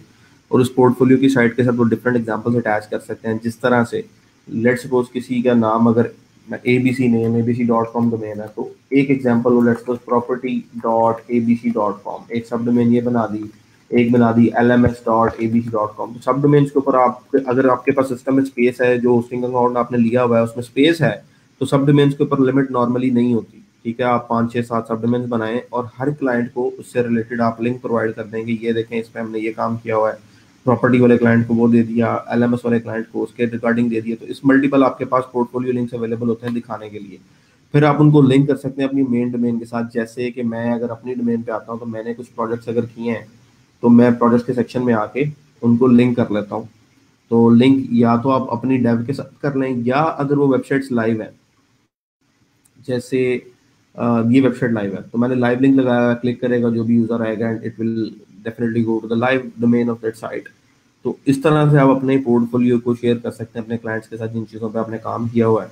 और अगर आप कुछ टेस्ट प्रोजेक्ट करना चाह रहे हैं, जैसे समटाइम्स आपको काम करके क्लाइंट को अपने सिस्टम के ऊपर डेमो देना होता है कि दैट दिस इज़ वर्किंग तो उसके लिए आप सब डोमेन बना देते हैं, ठीक है? अपनी किसी डोमेन के आगे साथ सब डोमेन बनाते हैं और उसकी वेबसाइट और सारा कुछ वहाँ पे आप अप्लाई करके उसको चेक करवा देते हैं कि हाँ जी सब कुछ रनिंग में है हाँ जी, वो ओके करता है तो फिर आप उसके सिस्टम को शिफ्ट कर देते हैं। यानी अपने कोड को उसके सिस्टम के ऊपर, उसके फ़ाइल मैनेजर के अंदर जो फ़ाइल रिप्लेस करनी है, वहाँ पर रिप्लेस करेंगे और उसकी वेबसाइट वहाँ पर प्रॉपरली डिप्लॉय कर देंगे। अभी हमारा जो सारा इंट्रोडक्शन है that was around domain and hosting domain क्या चीज़ है और होस्टिंग क्या चीज़ है और होस्टिंग टाइप्स किस तरह की हैं, और सी पैनल क्या होता है, और ये जो आपको, ये टूल नज़र आ रहा है, ये शेयर्ड होस्टिंग का टूल यही होता है। अगर शेयर्ड होस्टिंग में मल्टीपल साइट्स की आपके पास इजाज़त होगी तो वो आप यहाँ पे ऐड कर सकते हैं। अगर आपके पैकेज के अंदर वो चीज़ उन्होंने रखी हुई है कि आप एक अकाउंट पे तीन वेबसाइट्स लगा सकते हैं तो आप तीन एड ऑन डोमेन यूज़ कर सकते हैं। अगर अनलिमिटेड है तो आप अनलिमिटेड कर सकते हैं, या अगर सिंगल है तो फिर सिंगल ही होगी जैसे यहाँ पे डिफाइन किया हुआ है। अगर मैं वेब होस्टिंग में जाता हूँ पहले ये खोला हुआ था मैंने रीसेलर वेब होस्टिंग में आता हूँ तो यहाँ पे आपको आ, ये जो साइट है यहाँ पे देखें अनलिमिटेड डोमेन लिखा हुआ है। ये अनलिमिटेड दे रही है ठीक है? नेम चीप पे जाते हैं। यहाँ पे थ्री वेबसाइट दिया हुआ है तो ये थ्री दे रही है। ब्लू होस्ट पे अगर आप आते हैं और होस्टिंग पे आते हैं शेड होस्टिंग के ऊपर तो ये देखें वन वेबसाइट आप ऐड ऑन डोमेन ऐड नहीं कर सकेंगे। सब डोमेन आप ज़रूर ऐड कर सकते हैं। ए बी सी डॉट आगे जो भी डोमेन आपने बाई की है डॉट कॉम लेकिन सब डोमेन ऐड नहीं कर सकते। आ, मतलब एड ऑन डोमेन ऐड नहीं कर सकते। अगर आप अनलिमिटेड वेबसाइट्स वाली लेते हैं तो मल्टीपल एड ऑन डोमेन भी क्रिएट कर सकते हैं और उनके जो हैं वो सब डोमेन भी बना सकते हैं। अच्छा ये तो हो गया हमारा फ़ाइल मैनेजर जहाँ पे आप समझ लें कि सारे वर्ड के डॉक्यूमेंट्स पड़े हुए हैं जिस तरह हमारे लोकल होस्ट पर पड़े होते हैं। फिर दूसरा टूर है, जो इम्पोर्टेंट टूल है, उसके साथ हमारा that is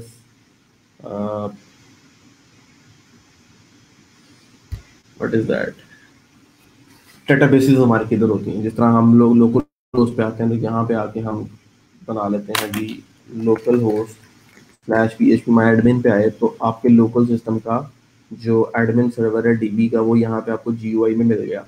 लेकिन सर्वर के ऊपर जब आपने डाटाबेस शिफ्ट करनी है सारी बात है, जब आपने वेबसाइट की फ़ाइल सर्वर पे लेके जानी है तो आपको डाटाबेस भी सर्वर के ऊपर लेके जानी है ताकि इंटरकनेक्टिविटी दोनों की रहे। और क्योंकि अगर आप, ये तो नहीं हो सकता कि सर्वर पे फाइलें हों और आपका डाटा लोकल पे पड़ा हो और आप लोकल सिस्टम बंद करके रात को दस बजे उठ के सो जाए जाके और क्लाइंट्स हैं, वो आगे देखते रहें डाटा मिले ना। तो दोनों चीज़ें आपने सर्वर लेके जानी होती हैं फाइल्स भी और डाटाबेस भी। तो डाटाबेस के लिए आपके पास ये टूल है पी एच पी एडमिन जिस तरह लोकल उसका टूल है, वैसे ही ये टूल है, लेकिन इसमें एक लिमिट है। लिमिट क्या है कि लोकल होस्ट के ऊपर आप यहाँ से जाके नई डोमेन क्रिएट कर सकते हैं, ठीक है? यहाँ से नई नई डाटाबेस यहाँ से क्रिएट कर सकते हैं। लेकिन जो आपके पास सी पैनल के ऊपर पी एच होगा, वहाँ पे आप नई डाटाबेस क्रिएट नहीं कर सकते। वहाँ पे आप ऑलरेडी जो डेटाबेसेस अवेलेबल है, सिर्फ़ उनको यूज़ कर सकते हैं। अगर आपको नई डेटाबेस क्रिएट करनी है तो आपके पास यहाँ पे माई एचकेल डेटाबेसेस के अंदर टूल है। ठीक है? आप वहाँ से डेटाबेस क्रिएट करेंगे, उसी के अंदर से आप यूज़र क्रिएट करेंगे, उसी के अंदर से पासवर्ड क्रिएट करेंगे, और उसके बाद आप वर्ड की इंस्टॉलेशन कर रहे होते हैं तो आप दोनों को साथ कन्फिगर कर देंगे। ठीक है? तो यहाँ पे आपको सिर्फ़ अवेलेबल डेटाबेसेस मिलेंगी। जैसे इसके अंदर मेरे पास डेटाबेसेस अवेलेबल हैं, वो सारी यहाँ पे मेरे पास आ रही हैं। और यहाँ से आप वो डेटाबेसेस क्रिएट करते हैं क्रिएट न्यू डेटाबेस और किसी चीज़ को मॉडिफाई करना तो मॉडिफाई कर सकते हैं। तो दिस इज़ द प्रोसेस तो अब हमने क्या करना है? हमने वर्ड की माइग्रेशन करनी है and there are two steps to do that दो से तीन डिफरेंट तरीके हैं टाइप्स हैं आपकी माइग्रेशन की। एक आप करते हैं कोड के साथ प्योरली कि आप कोड को शिफ्ट करें और डेटाबेस को शिफ्ट करें। कोड और डेटाबेस को शिफ्ट करने का तरीका क्या है कि आप जो है अपनी फाइल्स को अपलोड कर लेते हैं जिप करके, और आप अपलोड कर लेते हैं अपनी डेटाबेस को एक्सपोर्ट करके। एक तरीका वो हो गया। दूसरा तरीका हमारा माइग्रेशन क्या है कि हम प्लग इन यूज़ करते हैं। हम एक वर्ड इंस्टॉल कर लेते हैं। ऑनलाइन सिस्टम के ऊपर एक वर्ड इंस्टॉल कर लेते हैं लोकल सिस्टम के ऊपर। अब जहाँ से आपने जिस सिस्टम के ऊपर डाटा लेके आना लोकल से आपने वेबसाइट बना के सर्वर पे लेके जानी है तो अब लोकल से एक्सपोर्ट करके सर्वर पे इंपोर्ट कर लेते हैं। और अगर आपने सर्वर से लोकल पे लानी है तो आप सर्वर से एक्सपोर्ट करके लोकल पे इंपोर्ट कर लेते हैं, ठीक है? यही तरीकेकार पहले प्रोसेस में भी है। अगर आपको सर्वर से लोकल पे लेके आनी है तो आप ऊपर से फाइलें कंप्रेस करें डाउनलोड करें डीबी एक्सपोर्ट करें और नीचे आकर दोनों को इम्पोर्ट कर लें। या नीचे से एक्सपोर्ट और एक्सपोर्ट करें फाइल्स को जिप करें और एसक्यूएल को एक्सपोर्ट करें, ऊपर सर्वर पे जाके इम्पोर्ट कर लें। तो ये प्रोसेस उल्टा हो जाता है डिपेंड अपॉन ये रिक्वायरमेंट कि आप कहाँ से कहाँ शिफ्ट करने जा रहे हैं। एक फिर आपके पास है F T P file transfer protocol sometimes clients जिन्होंने आपको कोड की एक्सेस देनी होती है डेटाबेस की एक्सेस नहीं देनी होती, क्योंकि उनकी डेटाबेस के अंदर सेंसिटिव इन्फॉर्मेशन है, उनके क्लाइंट्स की डिटेल है, वो नहीं चाहते कि आप उनके क्लाइंट्स को रीच आउट करें. तो आपको कोडिंग चेंजेस के लिए वो सिर्फ़ और सिर्फ़ एफ़ टी पी अकाउंट दे देते हैं और एफ़ टी पी अकाउंट आपके पास यूज़ होता है थ्रू फ़ाइल जिला और एफ़ टी पी अकाउंट के ऊपर आपके पास सिर्फ़ और सिर्फ़ फाइल्स की एक्सेस होती है. ठीक है? आपके पास डेटाबेस की एक्सेस नहीं होती.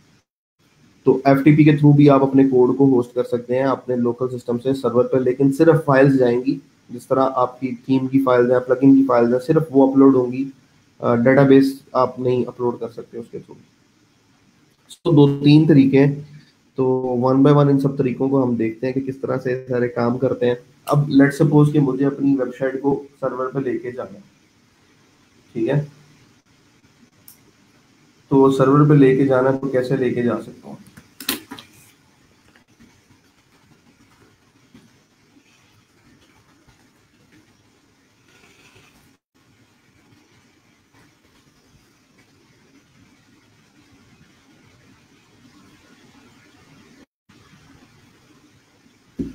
कैसे लेके जा सकता हूँ मैं? सो फ़र्स्ट ऑफ़ ऑल मुझे पता होना चाहिए कि साइट को मैंने होस्ट करना है।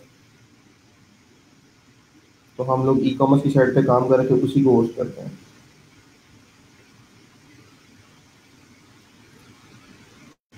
सबसे पहले आप जाएँ। मैं यहाँ पे कुछ स्टेप्स लिख देता हूँ।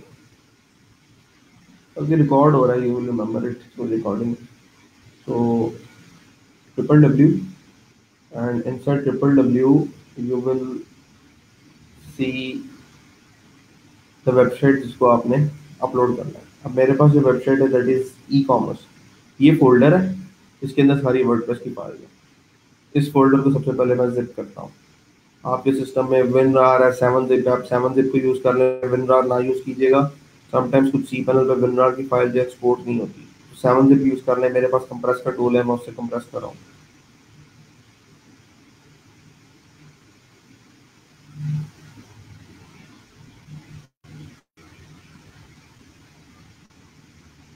तो आपकी जिप फ़ाइल क्रिएट हो गई, ठीक है? आपको सिस्टम के ऊपर वेबसाइट को होस्ट करने के लिए क्या चाहिए? डाटा फाइल्स यानी सारी वेबसाइट की और एक डाटाबेस चाहिए। तो डाटाबेस क्रिएट करने के लिए what will I do I will go to my databases यहाँ पे जाके मैं एक नई डाटाबेस जो है वो क्रिएट कर देता हूँ। तो ई कॉमर्स के नाम से मेरा ये सिस्टम है। ई कॉमर्स के नाम से मैंने एक डाटाबेस क्रिएट कर दी। अब जब लोकल सिस्टम पे हम लोग करते थे इंस्टॉलेशन तो हमें बाय डिफ़ॉल्ट रूट का यूज़र यूज़ करते थे और अगर जैम्प था तो एम पासवर्ड अगर एम्प था तो माई पासवर्ड यहाँ पे आपको रूट यूज़ नहीं करना पड़ेगा, यहाँ पे आपको नया यूज़र खुद बनाना पड़ेगा और उसको एक्सेस राइट्स देने पड़ेंगे। फिर जो है आप वो चीज़ अचीव कर सकते हैं, ठीक है?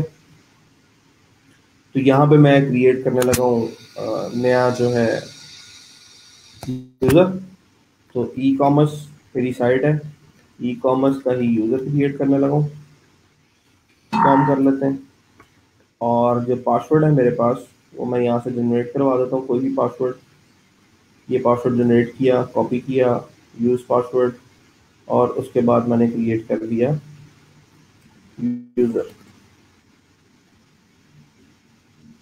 लोन मैच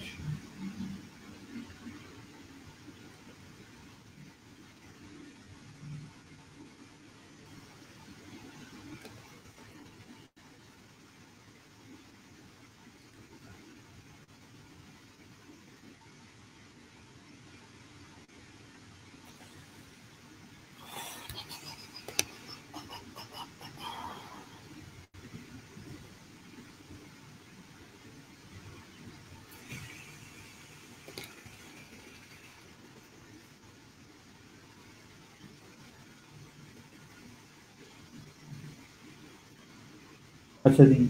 यूज़र क्रिएट हो गया पासवर्ड मेरे पास आ गया। पासवर्ड मैं यहाँ पे कहीं पे किसी ब्राउज़र के टैब में मैंने लिखवा दिया कि ये मेरा पासवर्ड है, ठीक है? एंड पासवर्ड बनाने के बाद what I have to do is कि मुझे अब उस यूज़र को जिसके लिए मैंने वो जिस डाटाबेस के लिए जो मैंने यूज़र क्रिएट किया, उस यूज़र को डाटाबेस के ऊपर मुझे राइट्स असाइन करना है, ठीक है? ऐड यूज़र टू डाटाबेस तो विच यूज़र इज़ ये यूज़र है और कौन सी डेटाबेस है? ये डेटाबेस है। इस यूज़र को इस डेटाबेस के ऊपर मुझे राइट्स देने हैं। इसके बगैर अगर मैं वर्ड इंस्टॉलेशन कर लेता हूँ या माइग्रेशन कर लेता हूँ तो मुझे एरर आएगा unable to connect to DB क्योंकि यूज़र ने पासवर्ड ठीक नहीं होगा।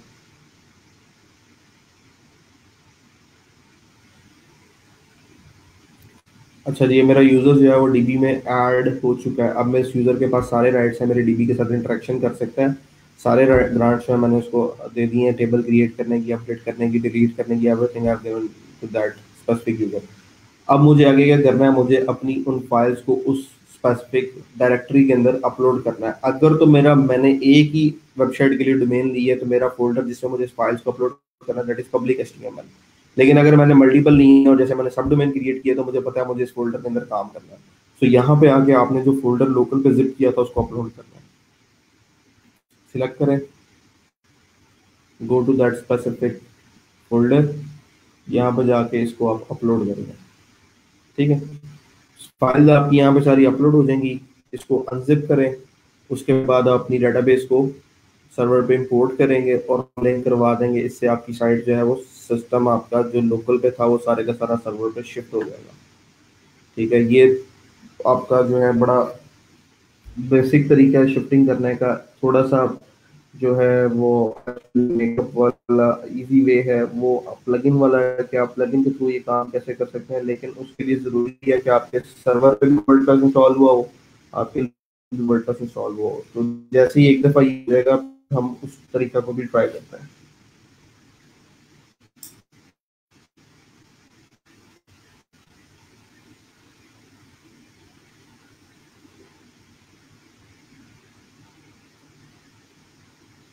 मुश्किल तो नहीं लग रहा आज का लेक्चर इजी है।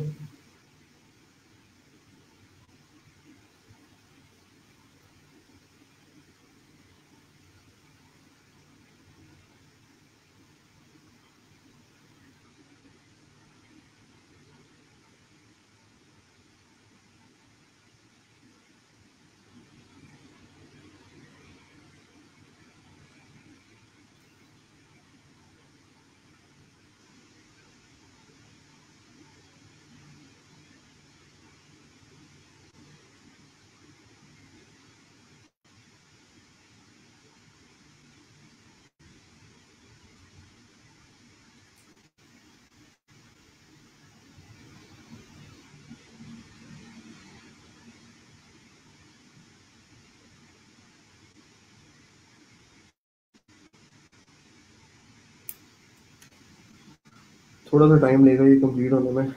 वन सेवेंटी फाइव एम की फ़ाइल अपलोड हो रही है तो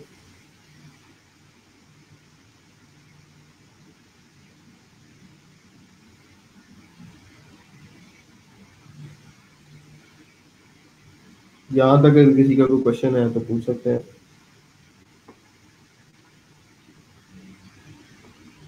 चलो गुड है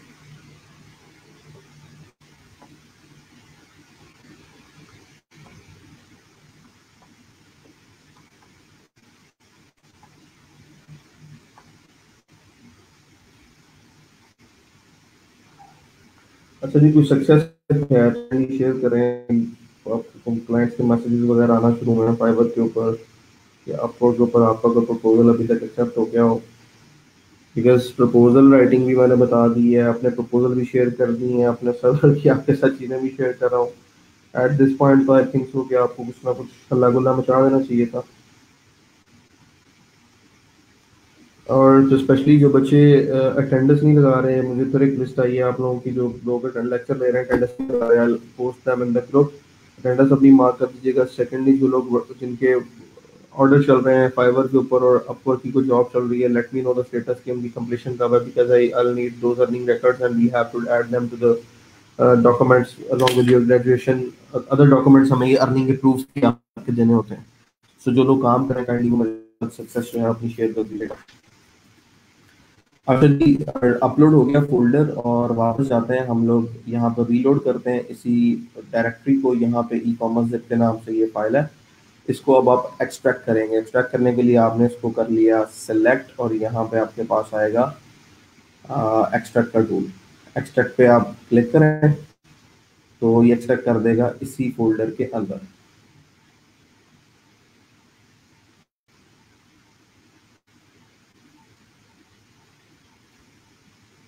ठीक है? यहाँ पे आपके पास ई कॉमर्स का फोल्डर बन गया। अब ये मैक वो एस इसलिए है क्योंकि फाइलिंग सिस्टम है और ये जो सर्वर है लिनक्स है, मेरे पास लिनक्स चल रही है तो ये इसको इग्नोर कर दें आप। और वो कॉमर्स ई कॉमर्स में जाके ये सारी फ़ाइल है। इस सबको आप लोग, आपने मूव करना है। क्योंकि जो डायरेक्टरी है, उसके अंदर डायरेक्ट इंडेक्स की फ़ाइल होनी चाहिए। ये इंडेक्स की फ़ाइल है, ये डायरेक्ट होनी चाहिए। W P admin contact and उसके फोल्डर डायरेक्ट होने चाहिए आपके पास मूव पे। सो इन सबको सिलेक्ट करें और मूव करें। और मूव करना है तो आप इसको थोड़ा सा ये फोल्डर नेम निकाल दें और बांट लें ठीक है? अब आपके पास ये जो ई कॉमर्स का फोल्डर है, ये एमटी हो गया। इसकी ज़रूरत नहीं है। इसको डिलीट कर दें। ठीक है? ये जिप फ़ाइल आपके पास पड़ी है कि करंट वर्जन आपका जो आपने जिप किया था लोकल इसको ऊपर ही रहने दें। बाद में हो सकता है कहीं प्रॉब्लम हो तो आपको इसे यूज़ करना पड़े। अच्छा अब खाली इन फाइल्स के साथ तो काम नहीं चलेगा, क्योंकि अब अगर मैं यहाँ पे आता हूँ और मैं लिखता हूँ dev dot Waqas Ali dot pro तो मुझे मिलेगा क्या एरर एस्टेब्लिशिंग कनेक्शन अब पीछे डेटाबेस भी होनी चाहिए। तो डेटाबेस के लिए क्या करना है? अब जिस वेबसाइट की आपने फाइल्स अपलोड की हैं, उसी की डेटाबेस भी आपने अपलोड करनी है। उसका क्या तरीकेकार है? उस डेटाबेस पे जाएँ। उस डेटाबेस को आप सबसे पहले एक्सपोर्ट करें। एक्सपोर्ट के लिंक पे क्लिक करें। और यहाँ से आप उसको एक्सपोर्ट कर दें। एक्सपोर्ट करेंगे आपके पास एक एसक्यूएल की फ़ाइल आएगी। पूरी की पूरी डीबी आपके पास एसक्यूएल में आ जाएगी ठीक है? अब इसको आपने सर्वर पे जाके इंपोर्ट करना है। क्योंकि अब मैं डेटाबेस बना चुका हूँ तो पी एच पी एडमिन में मेरी नई डेटाबेस जो है ई कॉमर्स की।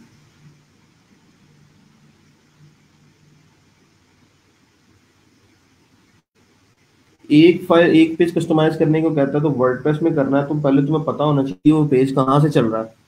वो पेज जो है वो स्टैटिक पेज है, वो पेज ब्लॉग पेज है, वो वर्डप्रेस में लॉगिन हो गया एडमिन में तो पता जाएगा कि होम पेज कहाँ से चल रहा है। अगर तो एलिमेंटर पे बना तो वर्डप्रेस से कस्टमाइज हो जाएगा। डीवी से बना उधर से कस्टमाइज हो जाएगा। अगर कंटेंट एडिटर में उसने एचटीएमएल डाली है तो वहीं से कस्टमाइज हो जाएगा। लेकिन अगर टेम्पलेट है तो फिर तुम्हें कोड की एक्सेस चाहिए होगी। उसे को मुझे सी पैनल की एक्सेस दे, ताकि मैं इसको कस्टमाइज कर सकूँ। अच्छा जी ई कॉमर्स के ऊपर आते हैं, इस डीबी के ऊपर अब ये डीबी एम है, इसमें हमने इम्पोर्ट करना है, उस जो लोकल की आपकी एक्सपोर्ट है, उसको करना है इम्पोर्ट तो पहले हमने एक्सपोर्ट की थी, वो ये एड्रेस था लोकल होस्ट वाला, ठीक है? अभी हम जब इम्पोर्ट कर रहे हैं, वो सर्वर वाला एड्रेस है सर्वर का पी एच पी है। डाटाबेस को सिलेक्ट करें और यहाँ पर जाके आप इम्पोर्ट पर क्लिक करें और इम्पोर्ट का आपको फ़ाइल अपलोडर मिलेगा। यहाँ पर जाके आप अपनी, जो आपने डाटाबेस एक्सपोर्ट की है, उस फ़ाइल को पिक करके गो पे क्लिक कर दें तो this will take a few seconds और अ मिनट तो ये सारे के सारी एसक्यूएल की क्यूरीज रन करके पूरी की पूरी डेटाबेस को सर्वर पे इंपोर्ट कर देगा। अब अगर आप अपनी डीबी को देखेंगे, इसके बाद तो आपकी डीबी में टेबल्स एग्जिस्ट करते होंगे। फिर आपका एक प्रोसेस रह जाएगा कि आपने एंट्रीज को चेंज करना है। कौन सी एंट्रीज को? डब्ल्यू बी कन्फिक की एंट्रीज को चेंज करना है और फाइल्स को लिंक करना है इस डेटाबेस के साथ।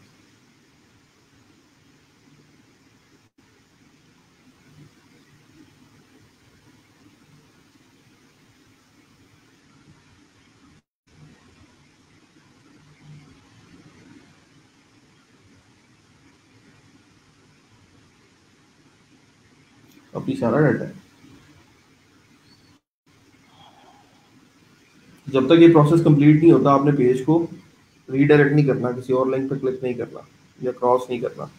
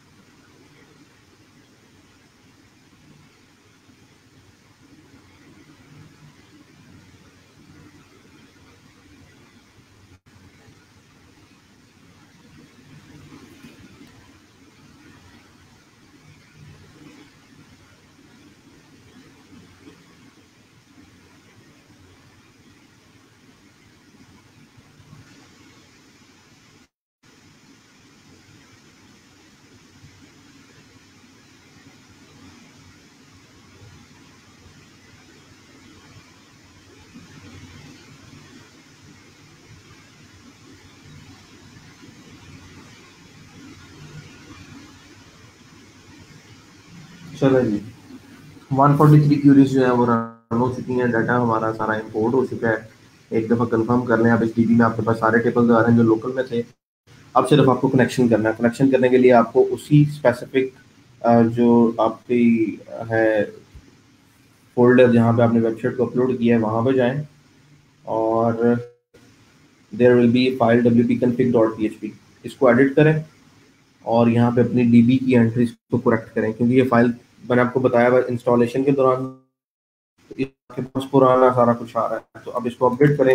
यहाँ पे आप अपने सर्वर के डी का नाम और यहाँ पे अपने यूज़र का नाम, क्योंकि मुझे ये याद है डिटेल्स मैंने खुद एंटर की हैं। आप इनको कहीं पे क्रिएट करके हुए स्टोर कर लेना। ठीक है पासवर्ड जो है मैंने यहाँ पे यूआरएल में रखा था। यहाँ से मैं कॉपी कर रहा हूँ। और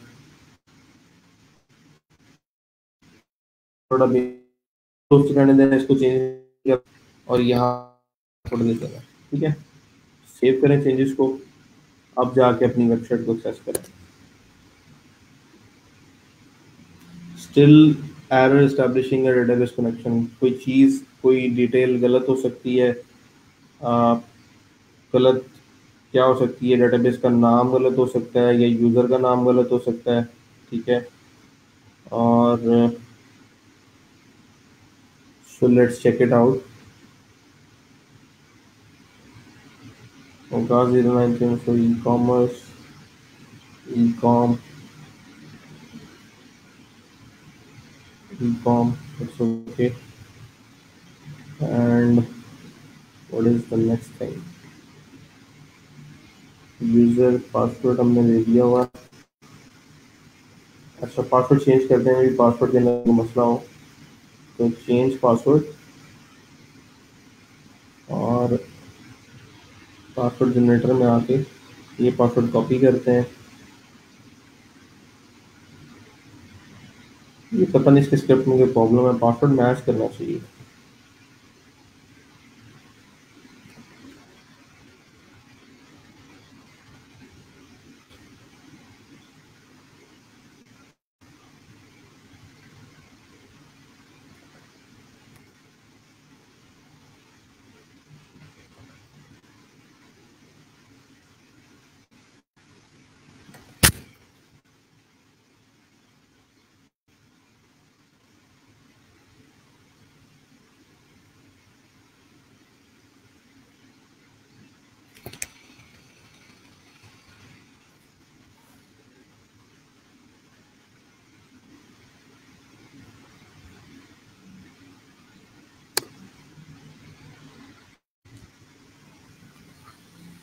ओहो।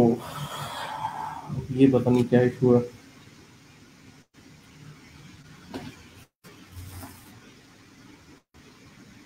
बेबी के स्पेलिंग एक दफ़ा कंफर्म कर लें।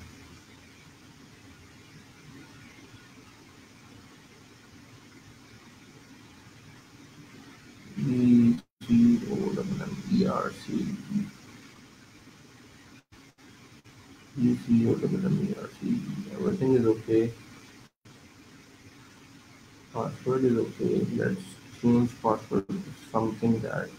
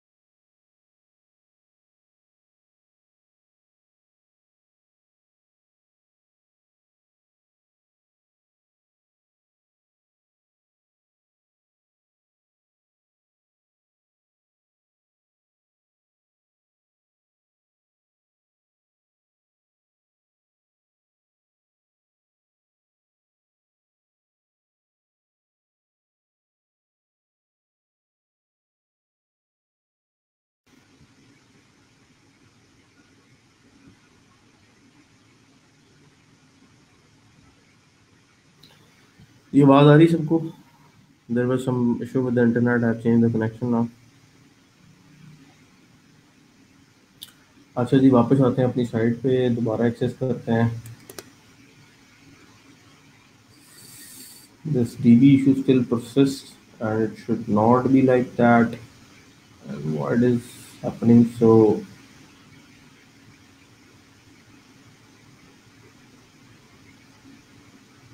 there can be another issue इसको चेक करते हैं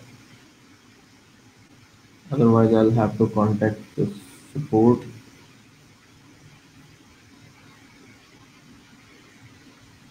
add user to database form to format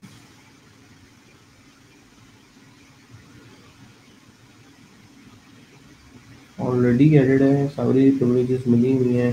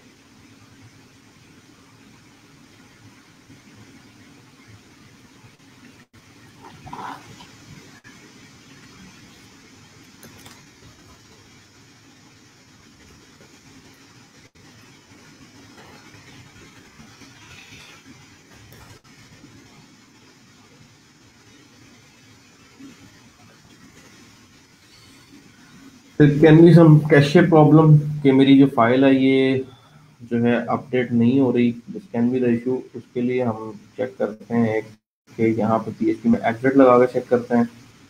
Because data base user name password everything is okay now and it should work so if this doesn't work you should contact your support customer support ताकि वो इस issue को resolve कर सकें। Because I been seeing this issue on this too in on this hosting for many sites now and लेकिन ये issue first time आया there comes an error of error 500 that is because of the files permission but right now this is something new because name print हो रहा है, पीछे D भी available है and everything is there and should work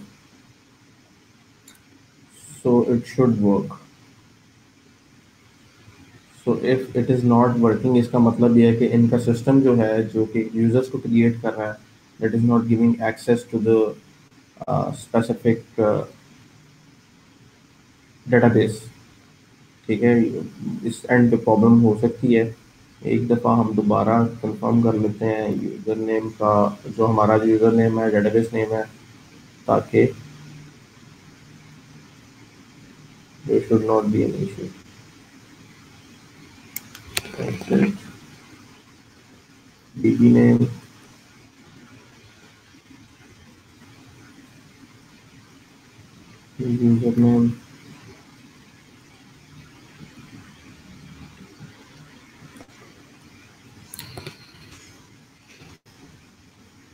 हमने already add किया हुआ है। कैश इशू भी हो सकता है। भी है कि कैश इशू आ रहा हो।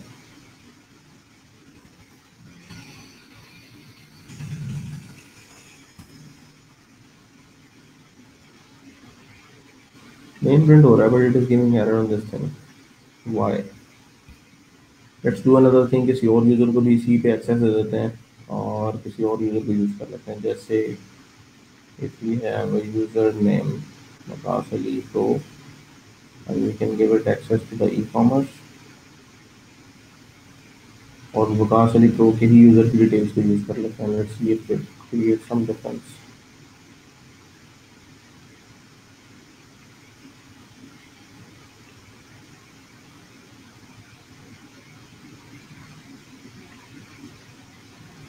I'll have to stop this screen share for a second ताकि मैं पासवर्ड कॉपी कर लूँ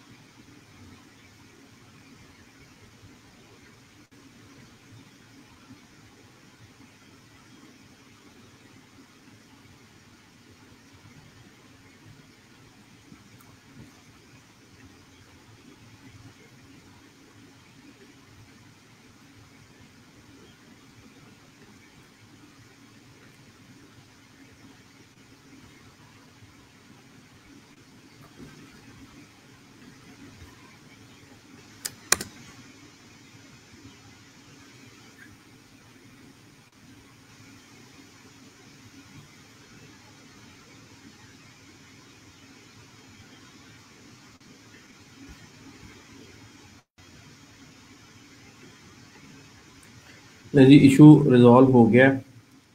आ, मैंने जो डिटेल्स हैं वो दूसरे यूज़र की ऐड कर दी हैं ठीक है? दूसरे यूज़र को उसी डी के एक्सेस राइट दे के जो डिटेल्स काम कर रही थी किसी और साइट में मैंने वो ऐड कर दी हैं जिससे मेरी साइट जो है वो चलना शुरू हो गई। साइट को चलाने के बाद एक काम जो करने वाला था वो मैंने आपके सामने ऑलरेडी कर दिया है कि आपको जो भी आप साइट सर्वर पे मूव कर रहे हैं उसके अंदर जो यू आर एल और होम है, उसको आपने चेंज कर देना according to the current domain जैसे dev dot Waqasali dot pro नया डोमेन नेम था इस साइट के लिए तो मैंने उसको ऐड कर दिया। इसको ऐड करने के बाद वो अपनी साइट के ऊपर जाएँगे। ये साइट चल रही है मेरी। यहाँ पे आके हो सकता है कि आपको सारी डिटेल्स सारी जो चीज़ें एज इट इज़ मिलें। या there can be some difference तो डिफरेंस को कैसे रिड्यूस किया जा सकता है? लिंक्स वगैरह अपडेट होने होते हैं समटाइम्स तो उसका क्या हाल होता है कि आप जो हैं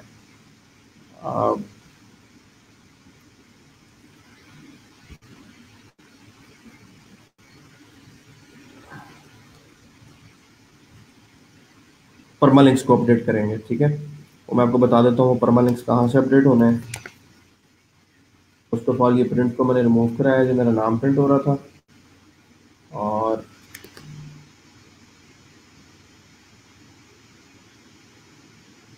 ताकि आपके पास ये बिल्कुल एग्जैक्ट व्यू आ जाए, जो हमारे पास लोकल होस्ट पे था, ठीक है?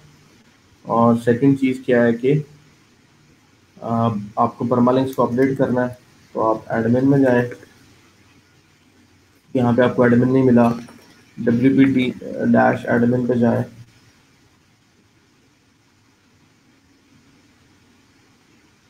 और सबसे पहले लॉगिन करके एडमिन का पासवर्ड चेंज करें आप, क्योंकि लोकल में हमने एडमिन का पासवर्ड टेस्ट रखा हुआ था। तो that can create an issue for us इस पासवर्ड को चेंज करते हैं और उसके बाद हम परमानेंस को अपडेट करते हैं।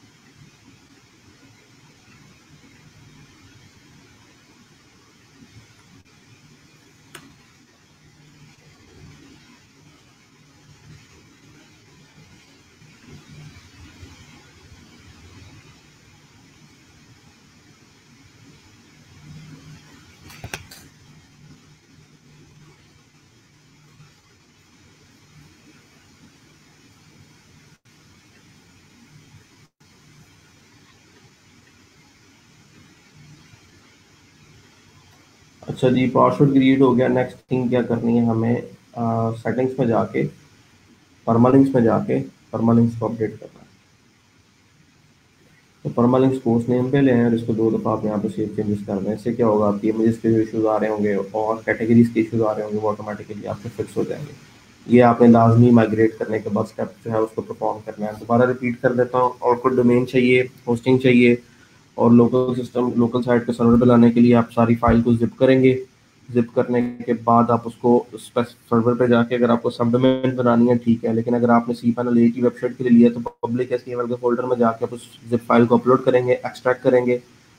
और एक्सट्रैक्ट करने के बाद फिर आपको लोकल डाटाबेस चाहिए लोकल पी एच एडमिन पे आके डाटाबेस को एक्सपोर्ट करेंगे और फिर सर्वर पर जाके नई डाटाबेस बना के पी एच एडमिन में जाके उस डाटाबेस के अंदर लोकल वाली फ़ाइल को इम्पोर्ट करेंगे ताकि आपकी सारी की सारी एस की क्यूरीज रन होकर डी बी आपकी माइग्रेट हो जाए। आफ्टर दैट आपको क्या करना है? डब्ल्यू पी कन्फिग में जाके डाटाबेस नए डाटाबेस का यूज़र नेम पासवर्ड और सारी वैल्यूज़ दे के आपको कनेक्शन क्रिएट करना है। And then you have to go to local जो आपका सर्वर है, उसके जो वेबसाइट है, जो सर्वर के ऊपर पी में एडमिन में आपने जो वेबसाइट डाटाबेस बनाई है उस डाटाबेस के अंदर डब्ल्यू पी ऑप्शन का टेबल है। उस डब्ल्यू पी ऑप्शन के टेबल के अंदर होम और साइट यूआरएल इन दो को आपने अपडेट करना है, ठीक है? ये दो एंट्रीज आपने अपडेट करनी है। एडमिन में लॉग इन होकर एडमिन का पासवर्ड चेंज करना है और उसके बाद आपने परमालिंक्स को अपडेट कर लेना है। So that will give you whole complete website जिस तरह से आपकी लोकल सिस्टम में चल रही थी भी आपकी वेबसाइट जो है वो सर्वर पर डिप्लॉय हो चुकी है। अब कल की एक्सरसाइज के अंदर हम लोग क्या करेंगे कि ये वेबसाइट अब सर्वर पे है और हम चाहते हैं कि सर्वर से इस वेबसाइट को लोकल पे लेके आए।